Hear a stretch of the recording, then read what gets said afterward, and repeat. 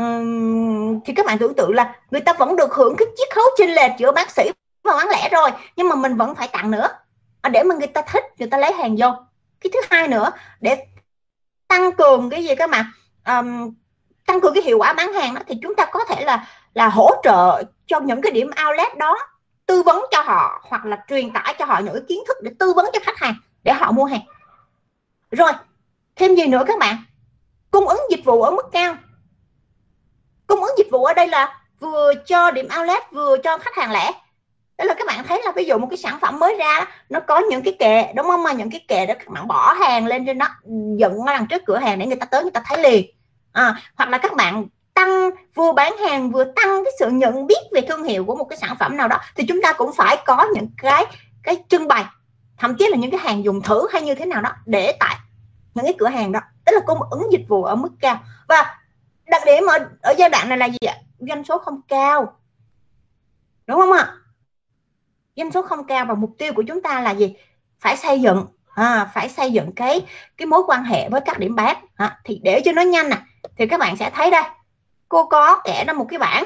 À, và để cho các bạn thấy được là những cái mục tiêu cơ bản của lực lượng bán hàng. Tức là các bạn đưa ra mục tiêu cơ bản xong rồi các bạn phải có mục tiêu cụ thể tức là những nhiệm vụ chính yếu của hoạt động bán hàng là gì. Và thậm chí ở đây người ta đề nghị cho chúng ta cái cung cách đãi ngộ được đề nghị nữa nhưng mà thôi cái đó chút nữa rồi nói. Các bạn để ý dùm cho cô hai cái ô phía trên thôi hai cái hai cái dòng phía trên thôi. Đó là những mục tiêu cơ bán hàng cơ bản và những cái nhiệm vụ chính yếu của hoạt động bán hàng nè.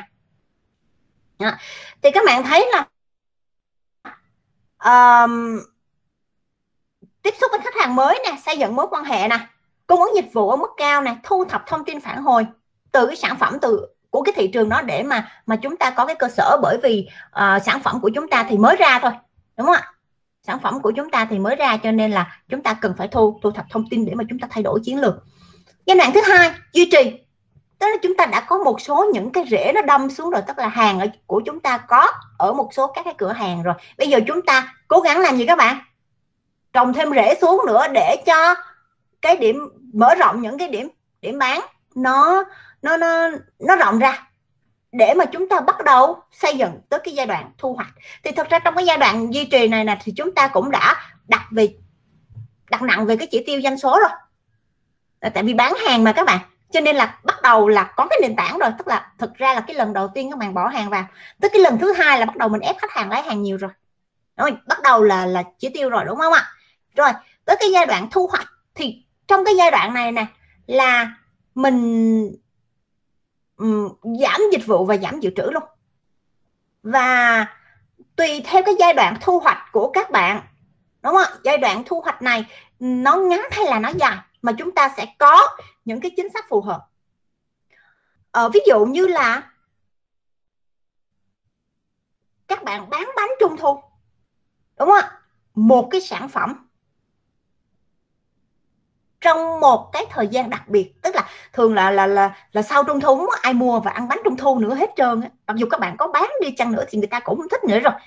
À, và cái ví dụ như là cái cái thời gian để mà các bạn bán cái sản phẩm này đó nó võn vẹn cô lấy ví dụ ờ, uh, um, rằng để coi hai tháng đi cho nó dài đi ha. Tức là người ta sẽ ăn từ từ cái cái đầu đầu tháng 7 đó người ta ăn tới tới qua trung thu một tí xíu ví dụ như vậy, tức là một cái chu kỳ phát triển sản phẩm của các bạn nó trong vòng 2 tháng đó. như vậy cái giai đoạn xây dựng nó sẽ vào giai đoạn nào, đúng không ạ? Duy trì, rồi cái giai đoạn thu hoạch nó sẽ sẽ tập trung ở cái điểm nào? Rồi, thu, bởi vì cái giai đoạn thu hoạch này nó ngắn nó ngắn đó các bạn. Chứ một cái sản phẩm này nó không phải là mua ngày này qua ngày khác như là gạo, cháo, mắm, muối, đúng không? Cho nên là trong cái giai đoạn thu hoạch này này chúng ta phải đánh mạnh gì? Đánh nhanh việc gọn á. Thậm chí là chúng ta chỉ tập trung vào những khách hàng quan trọng mang lại lợi nhuận cao và loại bỏ bớt một số những khách hàng không quan trọng để mà chúng ta tiết kiệm được chi phí bán hàng, cũng như là cái thời gian. Tại vì cái cái vấn đề thu hoạch ở đây là các bạn có thời gian, các bạn có một cái cây to như thế này trên đó rất nhiều trái, đúng không ạ? Và các bạn chỉ có hai tiếng đồng hồ để hái trái thôi. Và chắc chắn hai tiếng đồng hồ đó các bạn biết các bạn không thể hái hết được trái trên cây đó vậy thì trong hai tháng đó các bạn ừ, các bạn hái đại hay là các bạn lựa những cái trái ngon các bạn to xịn các bạn hái trước? Đúng không? Chúng ta phải lựa những cái trái ngon mà chúng ta hái trước. Bởi vì chúng ta không có thời gian vậy. Chúng ta hạn chế về mặt thời gian. Đó. Rồi. Um, giảm dịch vụ bởi vì chúng ta phải cắt giảm chi phí bán hàng. Đồng thời các bạn biết là chúng ta đã cung ứng dịch vụ ở hai cái giai đoạn đầu tiên rất là cao rồi. Tức là giai đoạn duy, xây dựng và giai đoạn duy trì doanh số đó. Thì chúng ta đã cung ứng dịch vụ rồi và cái giai đoạn này gọi là giai đoạn bòn rút từ thương hiệu, tức là chúng ta đầu tư vào rồi bây giờ chúng ta rút nó ra lợi nhuận thôi. Cho nên là chúng ta phải giảm dịch vụ, giảm dự trữ luôn. Để tiết kiệm được chi phí. Đồng thời khi mà các bạn, cái đây gọi là giảm dự trữ là chúng ta kiểm soát cái lượng hàng trong kho, trên nhà phân phối cũng như tại các điểm bán, luân chuyển hàng hóa. Để làm chi? Để khi mà mà các bạn bán hàng như vậy đó, các bạn kiểm soát được. Vấn đề là hàng bị tồn quá nhiều ở trên thị trường xong rồi tới lúc mà gạt bỏ ra rồi đó đưa ra một cái sản phẩm mới rồi đó thì cái thằng cũ nó vẫn còn đứng đó vậy thì bán kiểu gì? Rất là khó. Đó, cho nên là chúng ta phải giám sát những cái vấn đề này. Đồng thời là cố gắng bán hết những cái hàng hóa đã sản xuất ra. Nó đừng có để cho nó hết hạn sử dụng. À, vậy thì ở trong cái giai đoạn này phải luân chuyển hàng hóa liên tục. Tức là các bạn thấy là um, các bạn phải vô ví dụ như người ta còn hàng người ta chưa có bán được đi chăng nữa còn nguyên kệ đó, đó. Nhưng mà các bạn vẫn phải thăm viếng chứ không phải các bạn chạy ngang qua các bạn dòm cho các bạn kêu ồ hàng còn nhiều quá ta. Rồi các bạn đi luôn. Vậy là không được ha. Các bạn phải vô kiểm tra xem cũng như là nhắc nhở họ bán đúng không? Nhắc nhở chị ơi sao hàng còn nhiều quá chị? Tư vấn cho khách hàng mua bớt đi chị. Đúng chưa? Xong rồi kiểm tra cái đát coi. Chứ mình chạy luôn như vậy một tuần sau mình quay lại hết đát rồi hết đó thì mình bắt buộc phải thu hồi lại. Tại vì các bạn biết là các cái mặt hàng hiện nay thường là mình phải bao đát tức là uh, mình phải luân chuyển hàng hóa đi hoặc là nếu hết đắt thì mình phải thu lại mình đền mình đưa cái mới cho người ta. À, thì chúng ta phải làm những cái nhiệm vụ đó ở trong cái giai đoạn này nữa.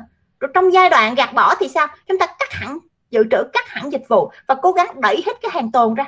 Tức là hàng ở trên thị trường thì cố gắng bán hết ra để mà chúng ta bắt đầu bắt đầu một cái chu kỳ kỳ mới nha. Được không?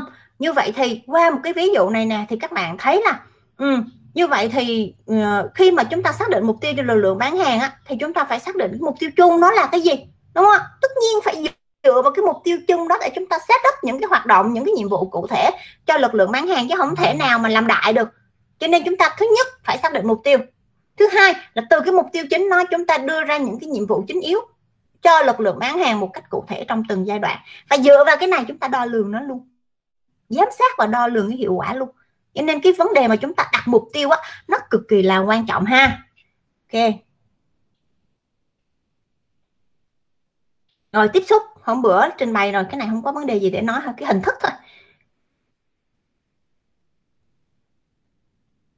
Ừ, cấu trúc lực lượng bán hàng thì sẽ có uh, cấu trúc theo lãnh thổ nè. Thì hôm bữa đã đã đã nói cho các bạn rồi đó, đúng không? Nhân viên bán hàng phụ trách một cái khu vực này, bán hàng cho tất cả các loại khách hàng của chúng ta ở đó và bán tất cả các loại sản phẩm của chúng ta ở trên đó luôn. Tại sao mình phải sử dụng cái cấu trúc lực lượng bán hàng? Nếu như các bạn không sử dụng cấu trúc thì lực lượng bán hàng không phân chia đó, thì các bạn rất là khó quản lý. Đúng không? Rất là khó quản lý về cả khách hàng rồi về cả cái cái cái cái trách nhiệm của nhân viên bán hàng nữa. Là cô lấy ví dụ như cô nói với các bạn là ờ, bây giờ cô bán nước này, các bạn mỗi người ôm thùng nước đem ra bán đi, rồi mỗi người bán được triệu là được. Đúng không? Thì sẽ có trường hợp như thế này. Các bạn đổ dồn ra một cái khu nào đó, có rất là đông khách và các bạn bán được hết ở đó luôn. Đúng không? Còn ở những nơi khác thì không có ai bán cả. Tại vì cô chỉ nói với các bạn là ở bán cho cô đường triệu. Tức là cô không quy định là là cấu trúc lực lượng bán hàng rồi có những trường hợp là cô đưa nhiều sản phẩm xong rồi là cô cũng nói là một triệu. Thế thì các bạn cái sản phẩm nào dễ bán thì bán còn sản phẩm không dễ bán thì thôi. Tại vì các bạn không biết đường tư vấn cái đó các bạn cũng không hiểu nó là cái gì nữa. Rồi trong trường hợp mà nhiều người bán cho một khách hàng tức là cô không quy định theo vùng á không có chịu không có quy định là là là nhân viên nào chịu trách nhiệm cho khách hàng nào đó thì một khách hàng nào đó người ta complain người ta nói là ủa tự tự nhiên bán hàng hư cho tôi tôi về tôi ăn tôi đau bụng. À, vậy thì có hai hoặc ba người gì đó bán hàng cho cái cô khách hàng này. Và không ai chịu nhận hết á. Nó là em đâu có em kiểm tra đát kỹ lắm rồi. Chắc nhỏ b nhỏ c. Con nhỏ b thì nó chắc nhỏ a với nhỏ c chứ hàng chứ em lúc em bán là em kiểm tra đát rồi không vấn đề gì. Tức là không ai chịu cái trách nhiệm đó cả. À, cho nên là chúng ta phải uh, có một cái cấu trúc tức là phân chia công việc như thế nào đó cho nó hiệu quả để mà chúng ta dễ dàng quản lý. Các bạn ha. Thì thì cái này nè cái phương pháp mà áp dụng cấu trúc theo lãnh thổ này chúng ta áp dụng cái, phạm vi thị trường rộng sản phẩm và khách hàng đồng nhất. Hai cái này kết hợp lại với nhau này. Sản phẩm và khách hàng đồng nhất sản phẩm đồng nhất là gì? Nhắc lại lần nữa ha. Sản phẩm đã tiêu chuẩn hóa rồi. Tức là cái cái những sản phẩm nó sử dụng cho một cho những cái mục đích nào đó mà nó không có gì quá đặc biệt. Ví dụ như hàng tiêu dùng bột giặt là để giặt uh, sữa là để uống. Không cần phải tư vấn không cần phải gì nhiều hết và khách hàng cũng đồng nhất nữa tức là cái hành vi mua của khách hàng đối với những loại sản phẩm này nó không có gì khác nhau hết đúng không ạ? Cách sử dụng sản phẩm tiêu thụ sản phẩm hành vi mua của khách hàng rồi thói quen mua rồi ừ, vân vân. Nó tương tự tương tự như nhau ở các nhóm khách hàng và sản phẩm. Như vậy thì chúng ta có thể áp dụng cái này. Rồi à, đây là cái sơ đồ cấu trúc ha các bạn ha. Cấu trúc theo lực lượng à, theo lãnh thổ nè. Thì thật ra mình chia thôi. Đúng không? Mình chia theo từng khu vực thôi. À, theo sản phẩm thì hôm bữa cô nói với các bạn đó là gì? À, khi mà chúng ta kinh doanh những cái mặt hàng mà nó có những cái đặc tính mà gọi là chuyên môn cao á à, thì cái người bán phải am hiểu về cái sản phẩm đó để mà có thể tư vấn cho khách hàng đồng thời là cái độ đồng nhất trong danh mục sản phẩm của chúng ta nó không cao. Ví dụ như là các bạn, công ty của chúng ta nhập cái điện thoại di động về để bán và công ty của chúng ta nhập cái chiếc xe máy về để bán, rõ ràng hai sản phẩm này nó nằm ở hai danh mục khác nhau và cái độ đồng nhất của nó rất là khác biệt. Về thị trường khách hàng cũng khác, về kênh phân phối cũng khác, về những cái chính sách mua hàng cũng khác. Đúng không ạ? Cái đối tượng khách hàng mục tiêu, cái đối tác của chúng ta cũng sẽ khác nữa.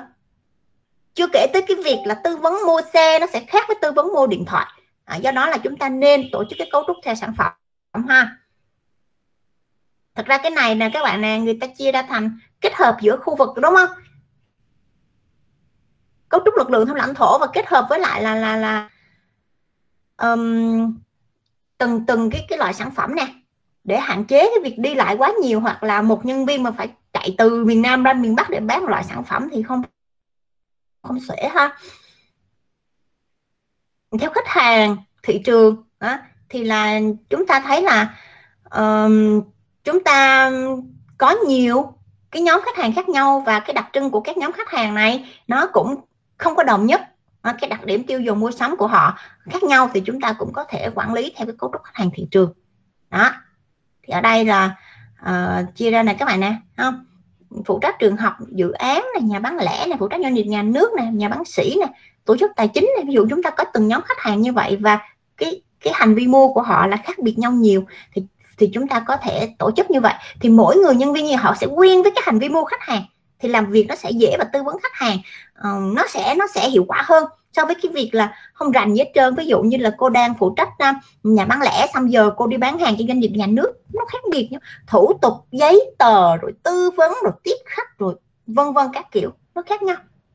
Thì cái nhân viên phụ trách doanh nghiệp nhà nước này họ làm lâu rồi họ rành rồi ồ, làm việc mấy ông nhà nước là phải dạy phải dạy phải dạy. Ok, cứ thế mà làm thôi, đúng chưa? Như vậy thì cái hiệu quả hoạt động của chúng ta sẽ cao hơn. Ngoài ra thì chúng ta có thể kết hợp lại với nhau nè, các bạn nè đúng không? Và chúng ta có thể là ở trong cái quá trình kinh doanh cảm thấy không phù hợp hoặc là chúng ta có phát triển thêm các cái danh mục sản phẩm mới các cái ngành mới thì chúng ta có thể thay đổi không vấn đề gì cả ha. Rồi. Đây là cái bảng uh, ưu và nhược điểm của từng loại cấu trúc. Thì các bạn có thể lưu lại hay chụp lại hay gì đó ghi lại gì đó để mà mà chúng ta ừ, không biết trong giáo trình có không? Nếu có rồi thì thôi. Để mà sau này các bạn um, thiết kế lời cái cái ờ, cái chính sách cấu trúc á, thì chúng ta có thể dựa vào cái ưu và nhược điểm này ờ, phân tích ra thị trường rồi phân tích sản phẩm của chúng ta nữa. Ừ, và kết hợp với cái bảng này để chúng ta có thể lựa chọn à, xem thử là mình ờ, mình mình sử dụng cấu trúc nào là nó hợp lý nhất ha.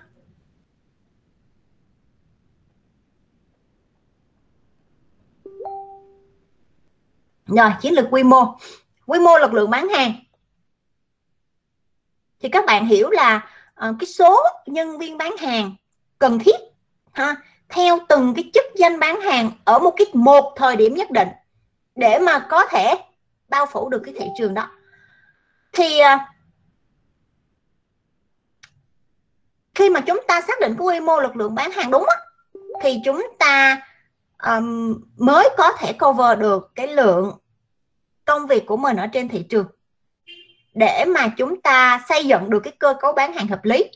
À, tránh cái việc là nó quá cồng kềnh lãng phí hoặc là quá tải công việc cho nhân viên của mình. Nếu như mà mình mình mình mình xác định quá nhiều hoặc là quá ít ha. Thì um, dựa trên cái bảng quy mô lực lượng bán hàng này đó thì người quản lý họ cũng thấy được rõ từng cái công việc của từng vị trí. Cũng như là qua đó thì chúng ta sẽ có cái cơ sở để mà xây dựng được những kế hoạch để mà quản trị nhân lực hiệu quả. Thì um, chúng ta có nhiều cái căn cứ để mà xác định quy mô cho lực lượng bán hàng. Thì uh, chúng ta sẽ dựa vào mục tiêu bán hàng của doanh nghiệp để mà chúng ta xác định về số lượng cũng như là chất lượng nhân viên bán hàng cần có. Um, và cái nguyên tắc mà chúng ta dựa vào đó, đó là chúng ta có thể dựa trên độ lớn thị trường. Ờ, không? ví dụ như là các bạn là một cái doanh nghiệp và bây giờ các bạn uh, muốn thâm nhập vào thị trường thành phố Đà Lạt. Như vậy thì các bạn sẽ tính cái độ lớn của thị trường thành phố Đà Lạt là bao nhiêu đúng không ạ? Rồi từ đó các bạn tổ chức phù hợp để bao phủ thị trường tuyển đủ nhiêu đó nhân viên bán hàng để có thể bao phủ thị trường. Còn dựa trên nguồn lực của công ty thì uh, mình có thể chọn một cái thị trường phù hợp để bao phủ thôi ví dụ như là ờ, các bạn mở một cái cửa hàng ra à, và nhóm của các bạn mở một cửa hàng sau này ra khởi nghiệp chẳng hạn à, nhóm 5 người đúng không ạ? 5 người thì làm sao mà bán các bạn tỉnh được? Vậy thì chúng ta phải đầu tiên chúng ta phải chọn một cái thị trường phù hợp để mà chúng ta bao phủ trước rồi từ đó chúng ta phát triển dần dần ra đúng không ạ? Tuy nhiên nó cũng dựa trên một cái nguyên tắc thôi. Đó là cái nguyên tắc mà các nhóm đã trình bày rồi đó. Phương pháp ước lượng khối lượng công việc để xác định quy mô cho lực lượng bán hàng ha.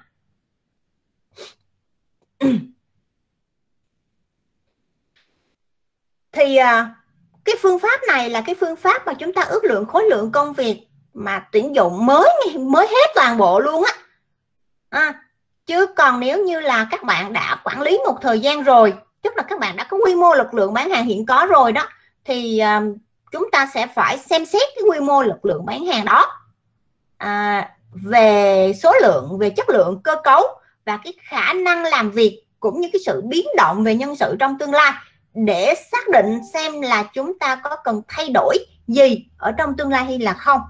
À, à, hoặc là giả sử như là chúng ta kinh doanh thêm một cái sản phẩm mới nữa chẳng hạn vậy thì chúng ta cũng phải tuyển một dụng thêm nhân viên bán hàng vào để mà có thể trang trải cover được cho cái ngành hàng mới đó của chúng ta. Ừ. à, thì cái phương pháp xác định đó thì là các bạn à, đã đã thấy ở đây cũng như là hôm bữa hai nhóm đã trình bày rồi. Thì đầu tiên là chúng ta sẽ phân chia khách hàng theo độ lớn hoặc là những cái đặc điểm khác nhau. Thì cái bước một này đó là các bạn đã học ở trong chương 2 rồi đó lúc mà các bạn nghiên cứu khách hàng đó đúng không? Thì các bạn sẽ chia thành những nhóm khách hàng khác nhau. Thì từng cái nhóm khách hàng khác nhau này nè các bạn sẽ thiết lập từng số miếng thăm mong muốn cho mỗi loại khách hàng.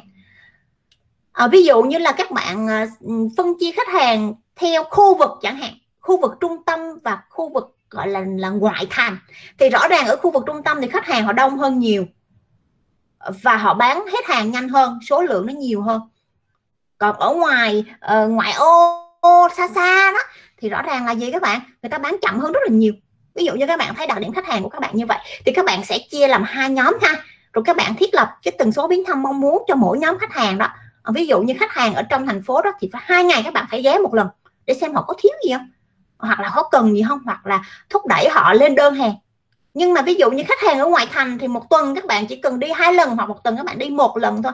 Đó là cái ba lần, cái hai ngày, cái hai ngày một lần hoặc là một một lần một tuần.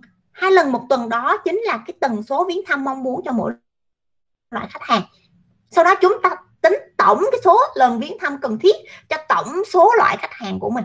Rồi các bạn bước 4 sẽ xác định được là cái số tuần hoặc là số ngày làm việc ở trong năm của một nhân viên bán hàng. À, rồi ước tính số lượng viếng thăm trung bình mỗi nhân viên bán hàng có thể thực hiện được trong vòng một năm. À, rồi chúng ta sẽ chia tổng số công việc cho cái gì ạ? Cho số công việc mà một nhân viên đảm nhận được. Thì chúng ta sẽ có được số lượng um, nhân viên bán hàng của mình. Đây là công thức tóm tắt này. Số khách hàng nhân với tần số tiếp xúc. Nhân nhỏ nhỏ thôi cho nó giống giống nhân nha. Rồi chia cho. Tổng số lần tiếp xúc một nhân viên có thể thực hiện được. À, cô sẽ nêu ra cái ví dụ ở trong sách hình như cũng có ví dụ đúng không? Ví dụ như là công ty à, XYZ gì đó có một ngàn khách hàng. Ở đây là tổng số lượng khách hàng đúng không? À, à, một ngàn khách hàng nhóm A tức là chia ra là hai nhóm rồi. Và cũng xác định luôn là nhóm A thì 36 lần chào hàng một năm. Còn nhóm B thì 12 lần chào hàng thôi tức là một tháng một lần thôi. Còn nhóm A thì là một tháng ba lần đó ha. Chuyến thăm một năm một người đó. Một người bán hàng trung bình thực hiện được ngàn lần một năm. Như vậy thì tóm lại chúng ta sẽ tính tổng cái số lượng công việc cần thiết cho cả hai nhóm khách hàng và chia cho trung bình. Đúng không? chia cho trung bình một người có thể đảm nhận được. Vậy thì chúng ta sẽ cần 60 đại diện bán hàng cho cả hai nhóm khách hàng. À, ngoài ra chúng ta cũng có uh, những cái phương thức khác. Ngoài cái việc là chúng ta xác định uh, quy mô chất lượng bán hàng dựa trên khối lượng công việc thì cái phương pháp phân bổ thì chúng ta thay vì dựa trên số lượng công việc thì chúng ta dựa lên tổng số lượng hàng bán tiềm năng. Tại vì ở đây chúng ta phải xác định gì các bạn? Xác định uh, tiềm năng trước dự báo trước. Ví dụ như bây giờ các bạn muốn là trong một năm nay phải bán được uh, trăm tỷ. À, 100 tỷ như vậy là ví dụ như là ờ, uh, 100 tấn hàng không ạ 100 tấn hàng, đó là số lượng hàng bán tiềm năng. Rồi, lượng hàng bán tối thiểu của một nhân viên bán hàng có thể làm được. Có thể bán được là bao nhiêu thì chúng ta cũng lấy tổng nó chia cho một người. Thì ra thôi, tức là cái nguyên tắc nó vẫn như là cái phương pháp kia, nhưng mà thay vì chúng ta xác định số, khối lượng công việc thì chúng ta sẽ xác định tổng số lượng hàng bán tiềm năng. Hay hay một cách khác nữa thì chúng ta có thể xác định dựa trên ngân sách bán hàng trực tiếp. Nên là bây giờ các bạn khởi nghiệp, các bạn có ít tiền thôi, các bạn không có nhiều. À. À, thì các bạn sẽ tính cái lợi nhuận và cái cái chi phí của mình trong việc quản lý. Thì các bạn xác định là bây giờ các bạn mở một cái cửa hàng ra thì để mà có lời được á thì sẽ gồm có những cái chi phí này xong rồi là doanh thu uh, tỷ lệ lợi nhuận này như thế kia. Đúng không? Như vậy thì các bạn sẽ phải xác định được là trong một tháng đó mình sẽ chi bao nhiêu tiền cho nhân viên bán hàng. Ví dụ một tháng các bạn chi 10 triệu cho nhân viên bán hàng.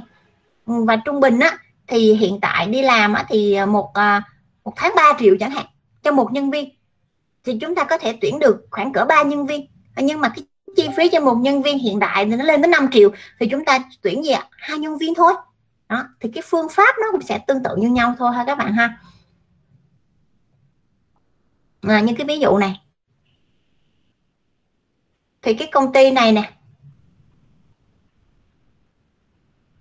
người ta sẽ phân chia ra dựa trên cái doanh số. Người ta phân loại danh sách khách hàng dựa trên cái số lượng doanh số ha. Và người ta cũng xác định luôn đó là cần bao nhiêu lần chào hàng một năm nè. Đó, và số lượng các cửa hàng nè. Rồi người ta xác định mỗi người bán hàng phải tiếp xúc trung bình 10 cửa hàng tuần, làm việc 40 tuần năm. Rồi mỗi giám sát, bán hàng được giám sát trực tiếp được 12 người nhân viên và bảy giám sát sẽ có một giám đốc bán hàng phụ trách từ cái dữ liệu này chúng ta có thể sử dụng cái phương pháp uh, xác định quy mô bán hàng. Lực lượng bán hàng theo um, cái khối lượng công việc của talent này chúng ta cũng có thể xác định ra được đúng không? Thì đầu tiên các bạn sẽ tính như thế nào ạ? Các bạn có thể chụp lại này sau đó tính ra ra. Tổng số lượng công việc cần thiết đúng chưa? Thì chúng ta sẽ tính số lượng ờ, viếng thăm cần thiết cho cửa hàng doanh số trên 200 nè rồi là cửa hàng có doanh số từ 100 tới 200 rồi cửa hàng doanh số dưới 100 đúng không ạ? Nhân lại với nhau. Lấy cái số lượng này nhân nè. Ví dụ như là lấy 2.500 nhân với 12 cộng với 1.700 nhân với 16 và cộng với 500 nhân với 20 như vậy chúng ta ra tổng.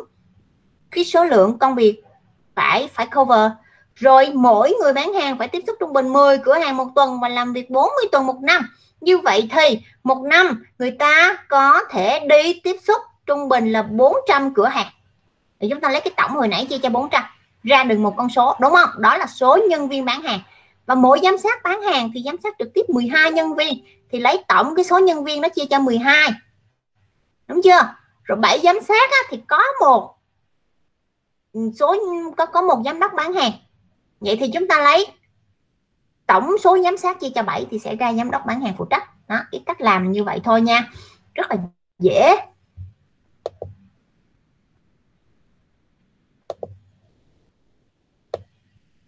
Rồi đó là quy mô lực lượng. À, kế hoạch à, đãi ngộ.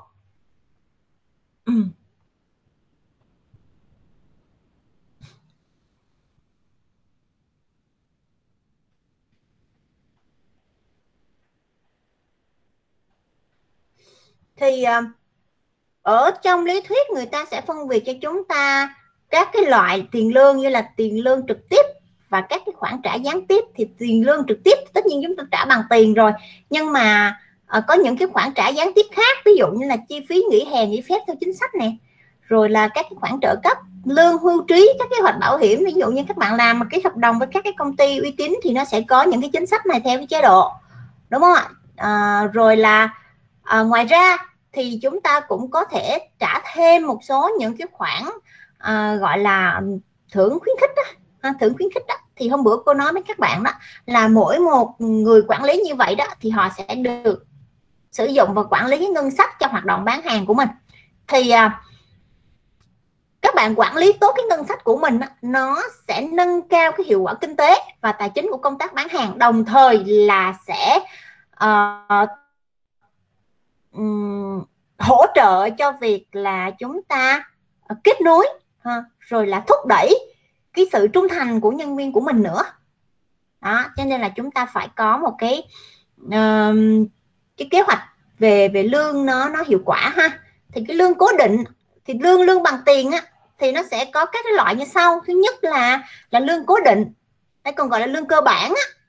Thì uh, có những cái công việc á, mà chúng ta chỉ sử dụng lương cố định không thôi. Đúng không ví dụ như là các bạn đi làm văn phòng các bạn đi làm một cái vị trí nào đó trong một cái cái cái phòng ban cái cơ sở nào của nhà nước đó thì thường là các bạn thành lãnh lương theo tháng à, lương làm tháng 5 triệu là cứ thế là tháng 5 triệu thôi. Và khi cái mức độ đóng góp của nhân viên vào doanh số bán không nhiều trong trường hợp nào thì chúng ta đưa ra cái này à ví dụ như là những cái cửa, như hôm bữa cô nói với các bạn là à, những cái cửa hàng hoặc là những trường hợp nhân viên của chúng ta không cần phải đi tìm khách hàng. Mà khách hàng có nhu cầu bu tới mua ờ vậy thì bán. Nhưng mà thật ra thì cái thái độ, tức là mình đã gọi được, tức là khách hàng đã vô được trong cửa hàng của mình rồi. Nhưng mà để moi được tiền trong túi của họ ra thì phải phụ thuộc vào ai? Phụ thuộc vào nhân viên bán hàng nữa. Để trách nhiệm của họ. Chứ nếu mà các bạn lương cố định không thôi á, thì nhân viên, người ta sẽ có một cái à, suy nghĩ thế này. Việc gì phải làm cho nó mệt việc gì phải nói nhiều. Đúng không? Tại vì bán được không được gì thì cửa hàng tức là chủ người ta chịu chứ. Mình nó thì đâu ảnh hưởng gì đâu. Tới tháng mình mới nhận được 3 triệu tiền lương mà.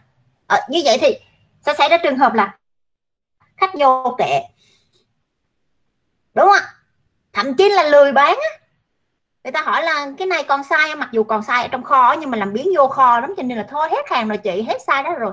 Ngồi chơi điện tử cho khỏe. Lỡ vậy sao, đúng không ạ? Cho nên là thường trong bán hàng thì người ta luôn luôn áp cái lương cố định, đúng không áp cái lương cố định với cái gì ạ? Với cái cái lương về về về doanh số nữa. Chỉ tiêu á, về cái doanh số nữa à, tuy nhiên là cái vẫn chúng ta vẫn có thể nói cái ưu điểm của cái phương pháp này nó ổn định nhân viên bán hàng họ yên tâm. Còn nếu như mà mà các bạn à, không sử dụng lương cố định luôn và các bạn chỉ có một loại lương hưởng theo doanh số không thôi thì người ta cũng cảm thấy không có yên tâm cho lắm. Biết mình đặc biệt là giai đoạn đầu các bạn mới ra nghề đó thì các bạn không biết là mình có bán được không. Không rồi trong một số giai đoạn nào đó uh, ảnh hưởng của dịch bệnh hay gì đó tự dưng làm sao có doanh số được có phải chứ đâu đúng không? Cho nên là họ bất ổn mà không yên tâm. Một cái ưu điểm nữa là dễ tính dễ quản lý.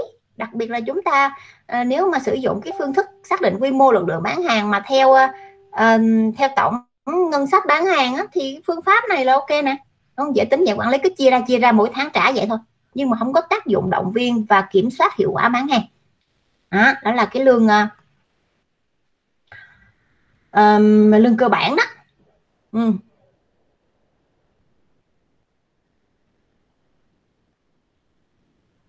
tiền hoa hồng. Um, tiền hoa hồng á, hay chúng ta còn gọi là à, tiền thưởng mà chúng ta hoàn thành cái chỉ tiêu về doanh số thì thường là các bạn thấy là ở trong bán hàng á, uh, chúng ta cũng không phải áp dụng tức là chỉ có một tức là tùy theo cái mô hình kinh doanh có thể là có những nơi là áp dụng tỷ lệ phần trăm trên doanh thu nhưng trong trường hợp mà các bạn vừa sử dụng cái lương lương ờ, bán hàng tại cửa hàng xong có khách vô thì bán hàng đó thì có thể áp dụng thêm cái tỷ lệ này nữa. À, nhưng mà thường là khi mà à, chúng ta chạy chỉ, chỉ tiêu về sale á thì chúng ta phải thưởng gọi cái cái thưởng này gọi là cái tiền hoa hồng hay còn gọi là thưởng hoàn thành chỉ tiêu về doanh số. À, thì à, chúng ta đặt về ra cái doanh số cho nhân viên của chúng ta trước đúng không? Xong rồi người ta đạt được cái chỉ tiêu đó thì sẽ được khoảng một được thưởng cái khoản tiền hoa hồng là bao nhiêu hoặc là thưởng hoàn thành chỉ tiêu là bao nhiêu. À, thì à, chúng ta áp dụng cái tiền này khi mà chúng ta không có mặt ở đó để mà quản lý xem từ cái thái độ cũng như cái trách nhiệm của nhân viên như thế nào. Mà gần như là chúng ta giao khoán cho nhân viên đi làm việc trên thị trường thì ưu điểm của nó là dễ dàng khuyến khích động viên nhân viên bán hàng. Nhân viên có trách nhiệm hơn với công việc bởi vì ai là trả thích tiền đúng không? Bán được nhiều thế có nhiều tiền nhưng mà nhược điểm thì nó lại khó đảm bảo tính hiệu quả của hoạt động bán hàng. Tức là à, nhân viên của chúng ta để mà à, à, gọi là hoàn thành cái chỉ tiêu hoặc là vượt chỉ tiêu á, thì họ có thể là chọn dễ bỏ khó. Tức là chọn bán những cái sản phẩm dễ hoặc là chọn bán những khách hàng dễ mà bỏ qua những cái sản phẩm khó bán hoặc bỏ qua những khách hàng khó tính. Thì chúng ta không đảm bảo được việc là bán à, gọi là bán đa dạng hay bán đồng đều các cái loại sản phẩm và cũng không đảm bảo được cái độ bao phủ thị trường. À, cho nên là chúng ta còn có một cái tiền thưởng gọi là tiền thưởng theo theo hạn ngạch nữa. À, hạn ngạch nữa tức là chúng ta đặt ra cái hạn ngạch song song với với cái cái với với cái cái, cái gọi là cái cái chỉ tiêu về doanh số.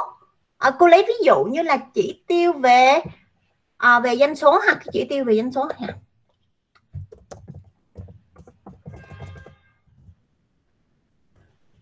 ví dụ như 100 triệu đúng không ạ? Và cái hạn ngạch của các bạn là ví dụ như là uh, các bạn kinh doanh sản phẩm à, ABC cho các loại hàng. Y ok chưa? Như vậy thì các bạn phải đặt cái hạn ngạch này ra tức là anh đạt được 100 triệu này. Đúng không ạ? Anh đạt được 100 triệu này thì là anh đạt được cái cái chỉ tiêu về về hoàn thành về doanh số. Nhưng mà đưa ra một cái hạn ngạch này tức là ví dụ như là um, min trên sản phẩm là phải bằng tức là cái gì các bạn cái doanh thu mà mà nhỏ nhất trên mỗi loại sản phẩm nó phải bằng 20 triệu. Hoặc là tùy theo chúng ta quy định. Rồi có thể là kết hợp theo là là min cho uh, trên khách hàng. Là bằng ví dụ như là 10 triệu để mình kiểm soát được.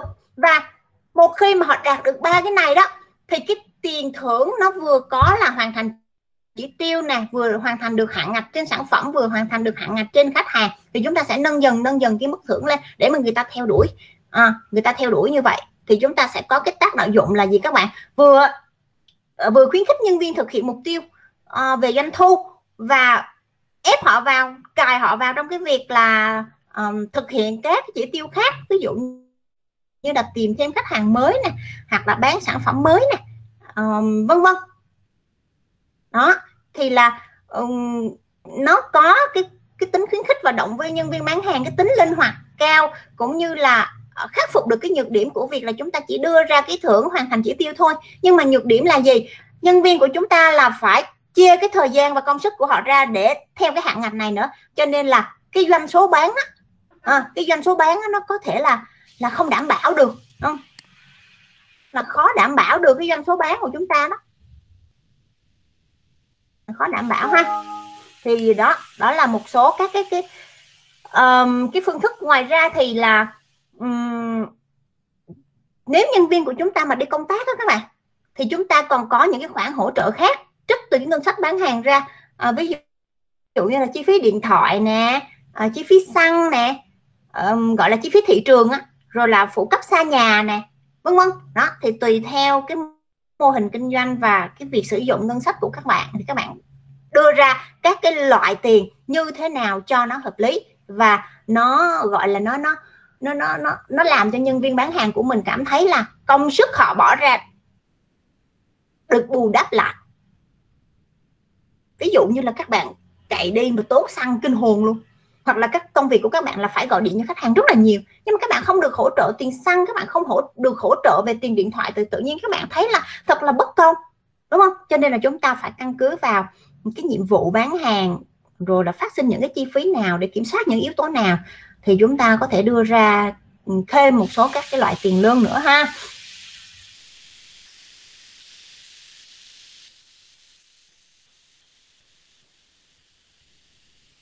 À, ngoài ra thì chúng ta còn có cái khoản động viên tinh thần. À, thực ra cái yếu tố này là một cái yếu tố rất quan trọng bên cạnh việc là chúng ta trả tiền cho họ.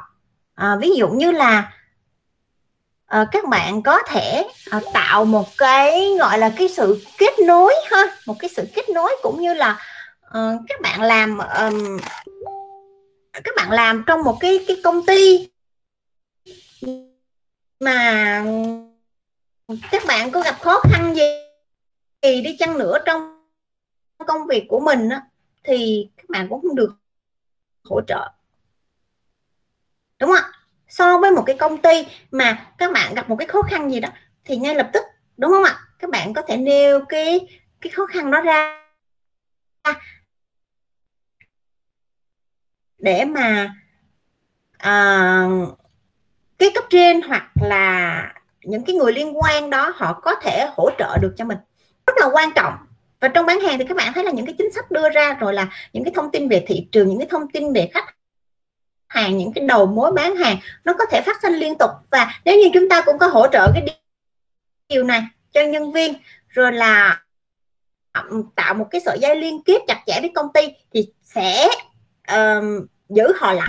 Ví dụ như là tự dân hôm nọ đi ờ, bán hàng về toại hỏi là sao nay không đi bán? Xong nay không đi làm? Kêu dạ hôm qua em đi về em sốt quá. Đúng không? Em xem nó ừ vậy thôi, nghỉ đi nha, rồi ngày mai cố gắng đi làm lại nha. Và chiều thì nhờ một nhân viên khác gửi tới cho các bạn đồ ăn hay là thuốc men gì đó, tự dưng các bạn thấy là, trời ơi, đúng không? Cảm động quá và công ty này tốt với mình quá. Đó là những cái yếu tố về động viên tinh thần.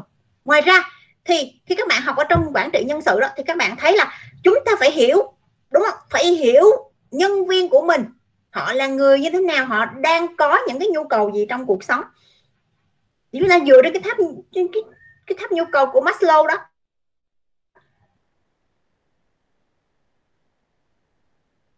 Thì có những nhân viên bán hàng rất là thích tiền.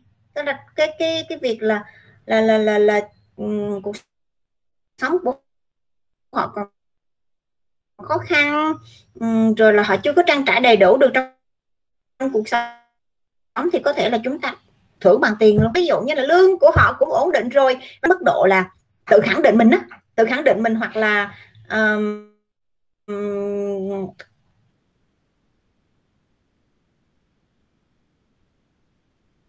giống như là uh, muốn người khác ngưỡng mộ mình đó thì lúc này á chúng ta không nên là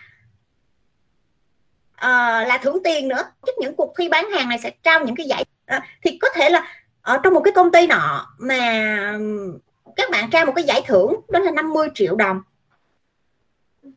Tức là ồ anh đạt được chỉ tiêu vậy cuối tháng chuyển chuyển khoản tiền thưởng 50 triệu đồng bật vô cái điện thoại tin tin. Vậy là xong. Nhưng mà ông này không thích cái điều đó không có làm cho ông thỏa mãn bằng cái việc là công ty tổ chức một một cái buổi tiệc hay là một cái buổi tổng kết gì đó. Xong rồi sếp làm một cái ờ, một cái giấy khen hoặc là ra ngoài hiệu sách mua cái gì các bạn. Ờ, mua một cái phần thưởng nhỏ nhỏ một cái cúp hay một cái cái, cái, cái, cái gì nhỏ nhỏ vậy đó. Là cái giải thưởng vinh dự xong rồi viết tên ổng lên. Người bán hàng xuất sắc nhất năm 2021 đúng không ạ? Tổng chi phí làm ra cái cục đó là là ví dụ như 500 nghìn đấy chỉ trao trọng cái đó thôi không cần 50 triệu như một thấy đó trời ơi thỏa mãn vô cùng luôn thì sao? Đúng không? Rồi ví dụ như thay vì mà các bạn có thể um, thưởng cuối năm hoặc là thưởng vào hè hoặc một cái dịp lễ đó thưởng lễ thưởng lễ uh, sắp tới có lễ gì không? Ừ, qua hết rồi ha. Ví dụ như là là, là lễ tết tây chẳng hạn thay vì thưởng như vậy thưởng tiền cho mỗi người 2 triệu thôi tết tây này hết dịch rồi. Bây giờ là tổ chức cho anh em mình đi nghỉ dưỡng du lịch tại resort nào đó ở nha trang hoặc là đi nha trang ăn nhậu phủ phê đổi khoái vô cùng luôn và những cái hoạt động đó nó cũng sẽ thắt chặt lại đúng không thắt chặt lại những cái mối quan hệ. Và các bạn cũng có cơ hội hiểu hơn về uh, nhân viên của mình. Đó thì chúng ta sẽ uh, cân nhắc và đưa ra những cái yếu tố về um, phúc lợi cho nhân viên như thế nào cho nó phù hợp để chúng ta có thể giữ được những cái người tài lại với doanh với doanh nghiệp của chúng ta. Bởi vì các bạn thấy là cái việc nhân viên trung thành với mình đó, mình cũng đỡ vả dữ lắm tức là họ họ quen việc rồi và họ quen với các mối quan hệ về khách hàng rồi. Đúng không? Cho nên là mình mình mình cứ bị mất nhân viên, xong mình tuyển mới vô, mình tốn chi phí đào tạo, xong một thời gian sau họ bắt đầu quen với công việc, xong lại họ bỏ mình đi. Như vậy thì chi phí về về tuyển dụng đào tạo và hiệu quả của công việc nó sẽ giảm. Cho nên chúng ta cố gắng đưa ra những cái chính sách phù hợp để giữ chân được những cái người tài. Đó. phần thứ ba đó là chúng ta tuyển mộ và lựa chọn lực lượng bán hàng à, thì à, tuyển dụng ha thì chúng ta có thể hiểu đó là một cái quá trình mà chúng ta tìm kiếm lựa chọn nhân sự để đáp ứng được nhu cầu của doanh nghiệp về những cái chức danh bán hàng.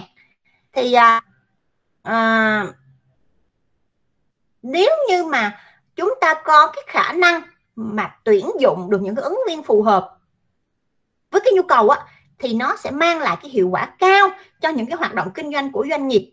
À, đồng thời thì chúng ta cũng có thể tiết kiệm được những cái khoản chi phí không cần thiết. Ví dụ như đào tạo lại nhân viên nè những cái chi phí cơ hội tức là các bạn tuyển cái, cái người này vô thì mất cơ hội tuyển một cái người khác đúng không thì có thể cái người, người khác đó cái cơ hội cho người khác đó họ vô họ làm tốt hơn sao? Rồi cái chi phí các bạn sa thải nữa chứ đúng không? Cái vấn đề về sa thải nó cũng mệt mỏi lắm các bạn sa thải người ta ra xong người ta ra. Ôi cái công ty đó làm ăn tào lao tao làm gì đâu, sa thải.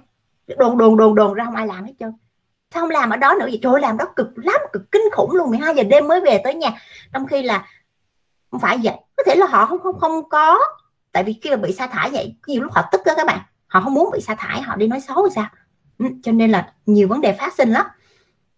Đó, thì để mà chúng ta có thể đáp ứng được cái việc là chúng ta tuyển đúng người á, thì chúng ta phải phải xác định được là uh, cái nhu cầu công việc và cái vị trí tuyển dụng của công ty là cái gì để chúng ta có thể yêu cầu về phẩm chất và năng lực nó tương ứng nó phù hợp. À, thì các bạn thấy là ví dụ như là tuyển một ờ, một nhân viên uh, um, bán mỹ phẩm thì yêu cầu về phẩm chất về năng lực nó sẽ khác với lại là các bạn tuyển một uh, um, nhân viên bán hàng là tài xế taxi rồi nó cũng sẽ khác với việc là các bạn tuyển một nhân viên bán hàng giao dịch tại ngân hàng đúng không cái cái công việc nó khác nhau thì yêu cầu về phẩm chất năng lực nó phải tương ứng. Bây giờ đi bán mỹ phẩm thì thường là con gái bán nó sẽ dễ hơn. Đồng thời là cũng không có yêu cầu là phải có um, bằng um, cử nhân bằng gì cả đúng không ạ? Mà có thể là các bạn sẽ dựa vào ngoại hình là cái phẩm chất và ừ, và và cái yếu tố đầu tiên các bạn có thể dựa làm tức là phải xinh xắn da là phải đẹp. Các bạn đi bán mỹ phẩm mà trụ da mụn mụn mụn mụn sao người ta tin tưởng người ta mua được đúng không?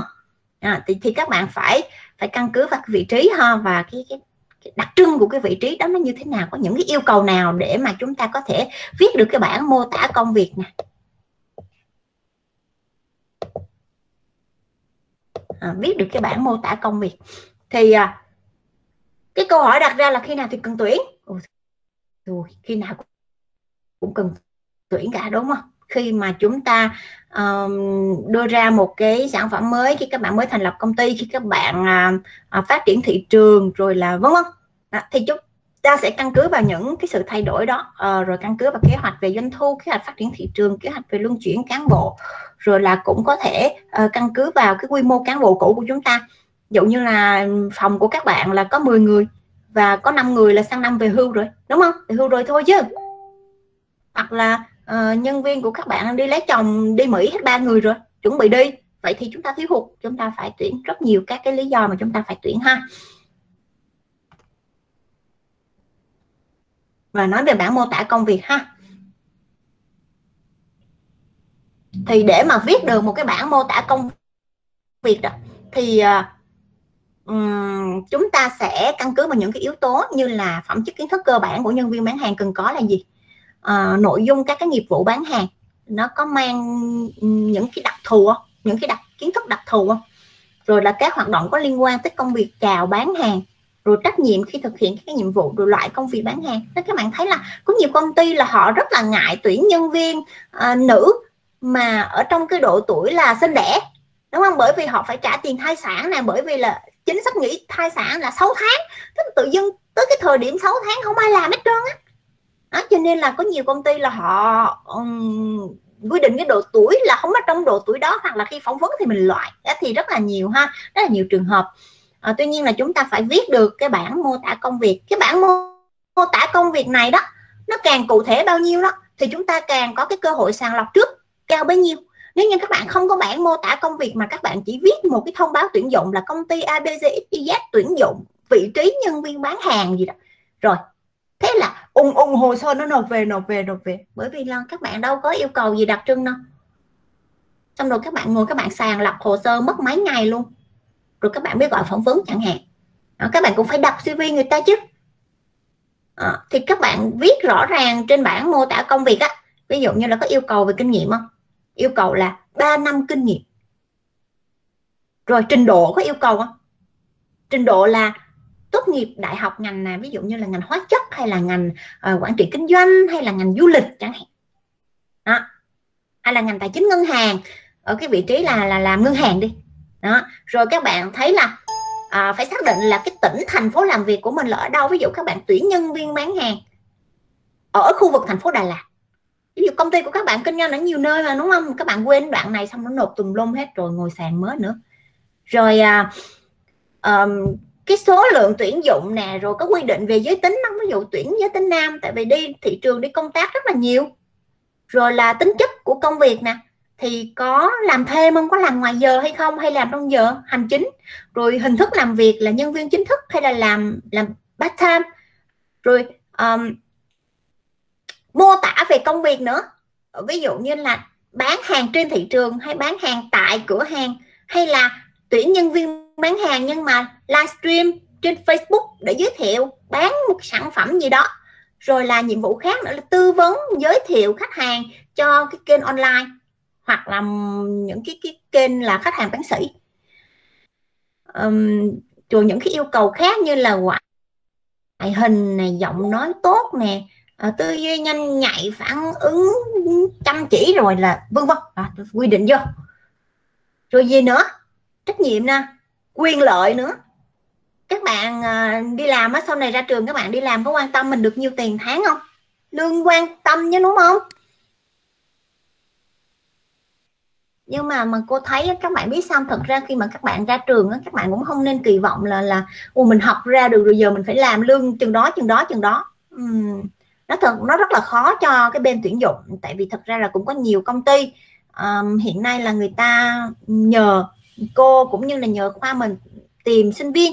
Thì qua một vài lần á thì cô thấy là ừ, họ cái feedback họ phản hồi lại đó là họ cảm thấy là ừ, xin các bạn đi phỏng vấn mà đòi hỏi quá nhiều thực ra là cô nghĩ là các bạn nên xác định là khi mà các bạn đi làm trong vòng vài năm đầu tiên là các bạn phải chịu cực rồi đó.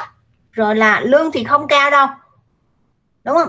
Và cái thời điểm đó các bạn coi như là các bạn học việc các bạn va chạm tại vì thật ra khi các bạn ra trường các bạn chưa có kinh nghiệm gì hết mà các bạn đòi lương bằng một người kinh nghiệm thì rất là khó. À, đó cho nên là um, khi mà các bạn ra trường mà đi làm đó thì cô nghĩ là chúng ta cũng nên uh, cân nhắc về cái vấn đề này. Đừng có đòi lương cao quá mà trả nổi. À, tuy nhiên là các bạn à, đứng ở góc độ là người tuyển dụng đúng không? Người đi tuyển dụng á thì các bạn sẽ phải đưa ra cái quyền lợi về cái thu nhập kế hoạch thu nhập. Cái kế hoạch thu nhập này là một công cụ để thu hút những ứng viên giỏi đúng không? Thu nhập một tháng hoặc là thu nhập mà mà à, nếu mà đạt được tức là khi mà làm được việc thì có thể là đạt được bao nhiêu? Đúng không? Thu nhập trung bình một năm là bao nhiêu? Có thể là người ta không ghi ra hàng tháng, tại vì có những công ty hàng tháng, ủa, đâu biết các bạn làm việc được hay không? Ví dụ trong nghề bán hàng đâu có biết là là là các bạn chạy được chỉ tiêu bao nhiêu đâu. Đó. thì bây giờ, ví dụ như nêu ra cái mức lương mà lương cứng á 3 triệu một tháng. Trời ơi! Ai mà vô làm? Đúng không ạ? Vậy thì các bạn gọi, đây không gọi là, đây không gọi là là là là là lương mà người ta gọi là kế hoạch thu nhập. Tức là các bạn sẽ dùng những cái từ hoặc là sử dụng những cái um, cái phương pháp nào đó để thể hiện ra. Ví dụ như là thu nhập theo doanh thu từ 20 tới 50 triệu một tháng. Đúng không? Tự nhiên thấy vô trời lương cao từ 20 tới 50 triệu. Ờ, nhưng mà không phải đâu nghe không phải tự dân vô là được 20 tới 50 đâu. Mà là nếu như các bạn ở trong nghề rồi thì các bạn sẽ hiểu cái cụm từ này. Đó và các bạn thấy là à nếu như mình làm việc tốt được thì mình sẽ được như vậy. À, thì đó là một cái công cụ để mà chúng ta thu hút uh, những cái người giỏi rồi là các cái phúc lợi. Có nhiều người các bạn biết sao? Người ta rất là quan tâm đến những cái phúc lợi ví dụ như là có được đóng bảo hiểm hay không? Rồi là uh, có được các cái chế độ gì gì đó hay không? Rất là quan trọng. Ví dụ như là các bạn thấy là cái bảo hiểm mà, mà bảo hiểm y tế ở Việt Nam mình thì có thể là, là không có quan tâm lắm. Nhưng mà các bạn thấy ở Mỹ á, những cái công ty nào mà nó đóng bảo hiểm y tế cho nhân nhân viên là những công ty đó là những công ty xịn đó. tại vì cái tiền đóng bảo hiểm y tế ở Mỹ nó mắc lắm luôn á các bạn. Ờ, nó mắc lắm luôn. Mà nếu như các bạn tự đóng á, thì thì các bạn không không không có nhiều lúc là cảm thấy phí lắm. Bởi vì là cái bảo hiểm nó nó sẽ chi cho các bạn. Là ví dụ như là một cái cuộc khám bệnh một cái cuộc phẫu thuật nào đó mà các bạn phải ví dụ như từ nó quy định ví dụ từ ba nghìn trở lên đó, thì nó mới mới chi trả. Còn dưới đó thì nó không chi trả chẳng hạn. Thì các bạn đóng vô rất là nhiều nhưng mà cái rủi ro mà các bạn các bạn gặp phải một cái vấn đề mà các bạn tốn nhiều tiền gì thì nó thấp. Đó, cho nên là các bạn tự đóng đau lòng lắm. À, thì các bạn sẽ quan tâm tới cái việc là mình được bảo vệ từ cái công ty như vậy. Rồi là những cái nguồn thu nhập khác ngoài lương có hay không cơ hội thăng tiến như thế nào. À, rồi đưa ra những cái kỳ vọng. Tức là quyền lợi sẽ đi đi với những cái trách nhiệm và những kỳ vọng này. Yêu cầu về chỉ tiêu hoạt động là hoặc là những cái uh, những cái cái cái quy định nào đó rồi hạn mức doanh số tối thiểu. Tức là mình phải đưa ra để mình sàng lọc. Tức là cái bản mô tả công việc này vừa để sàng lọc những cái ứng viên không phù hợp. Tức là họ đọc cho cái ôi trời ơi khó quá không phải mình rồi. À, nhưng mà có những người họ đang đi tìm kiếm những cơ hội như vậy họ thấy là năng lực của họ có thể đáp ứng được. À, thì họ sẽ dựa vào những cái quyền lợi này. À, để mà họ um, họ, họ chọn cái công ty.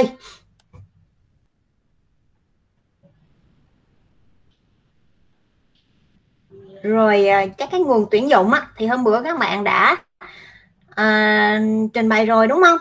Thì chúng ta sẽ có những cái nguồn như thế này nè nguồn công ty nội bộ này các định chế giáo dục. Thì nguồn công ty nội bộ hôm bữa cô đã giải thích cho các bạn ưu và nhược điểm rồi.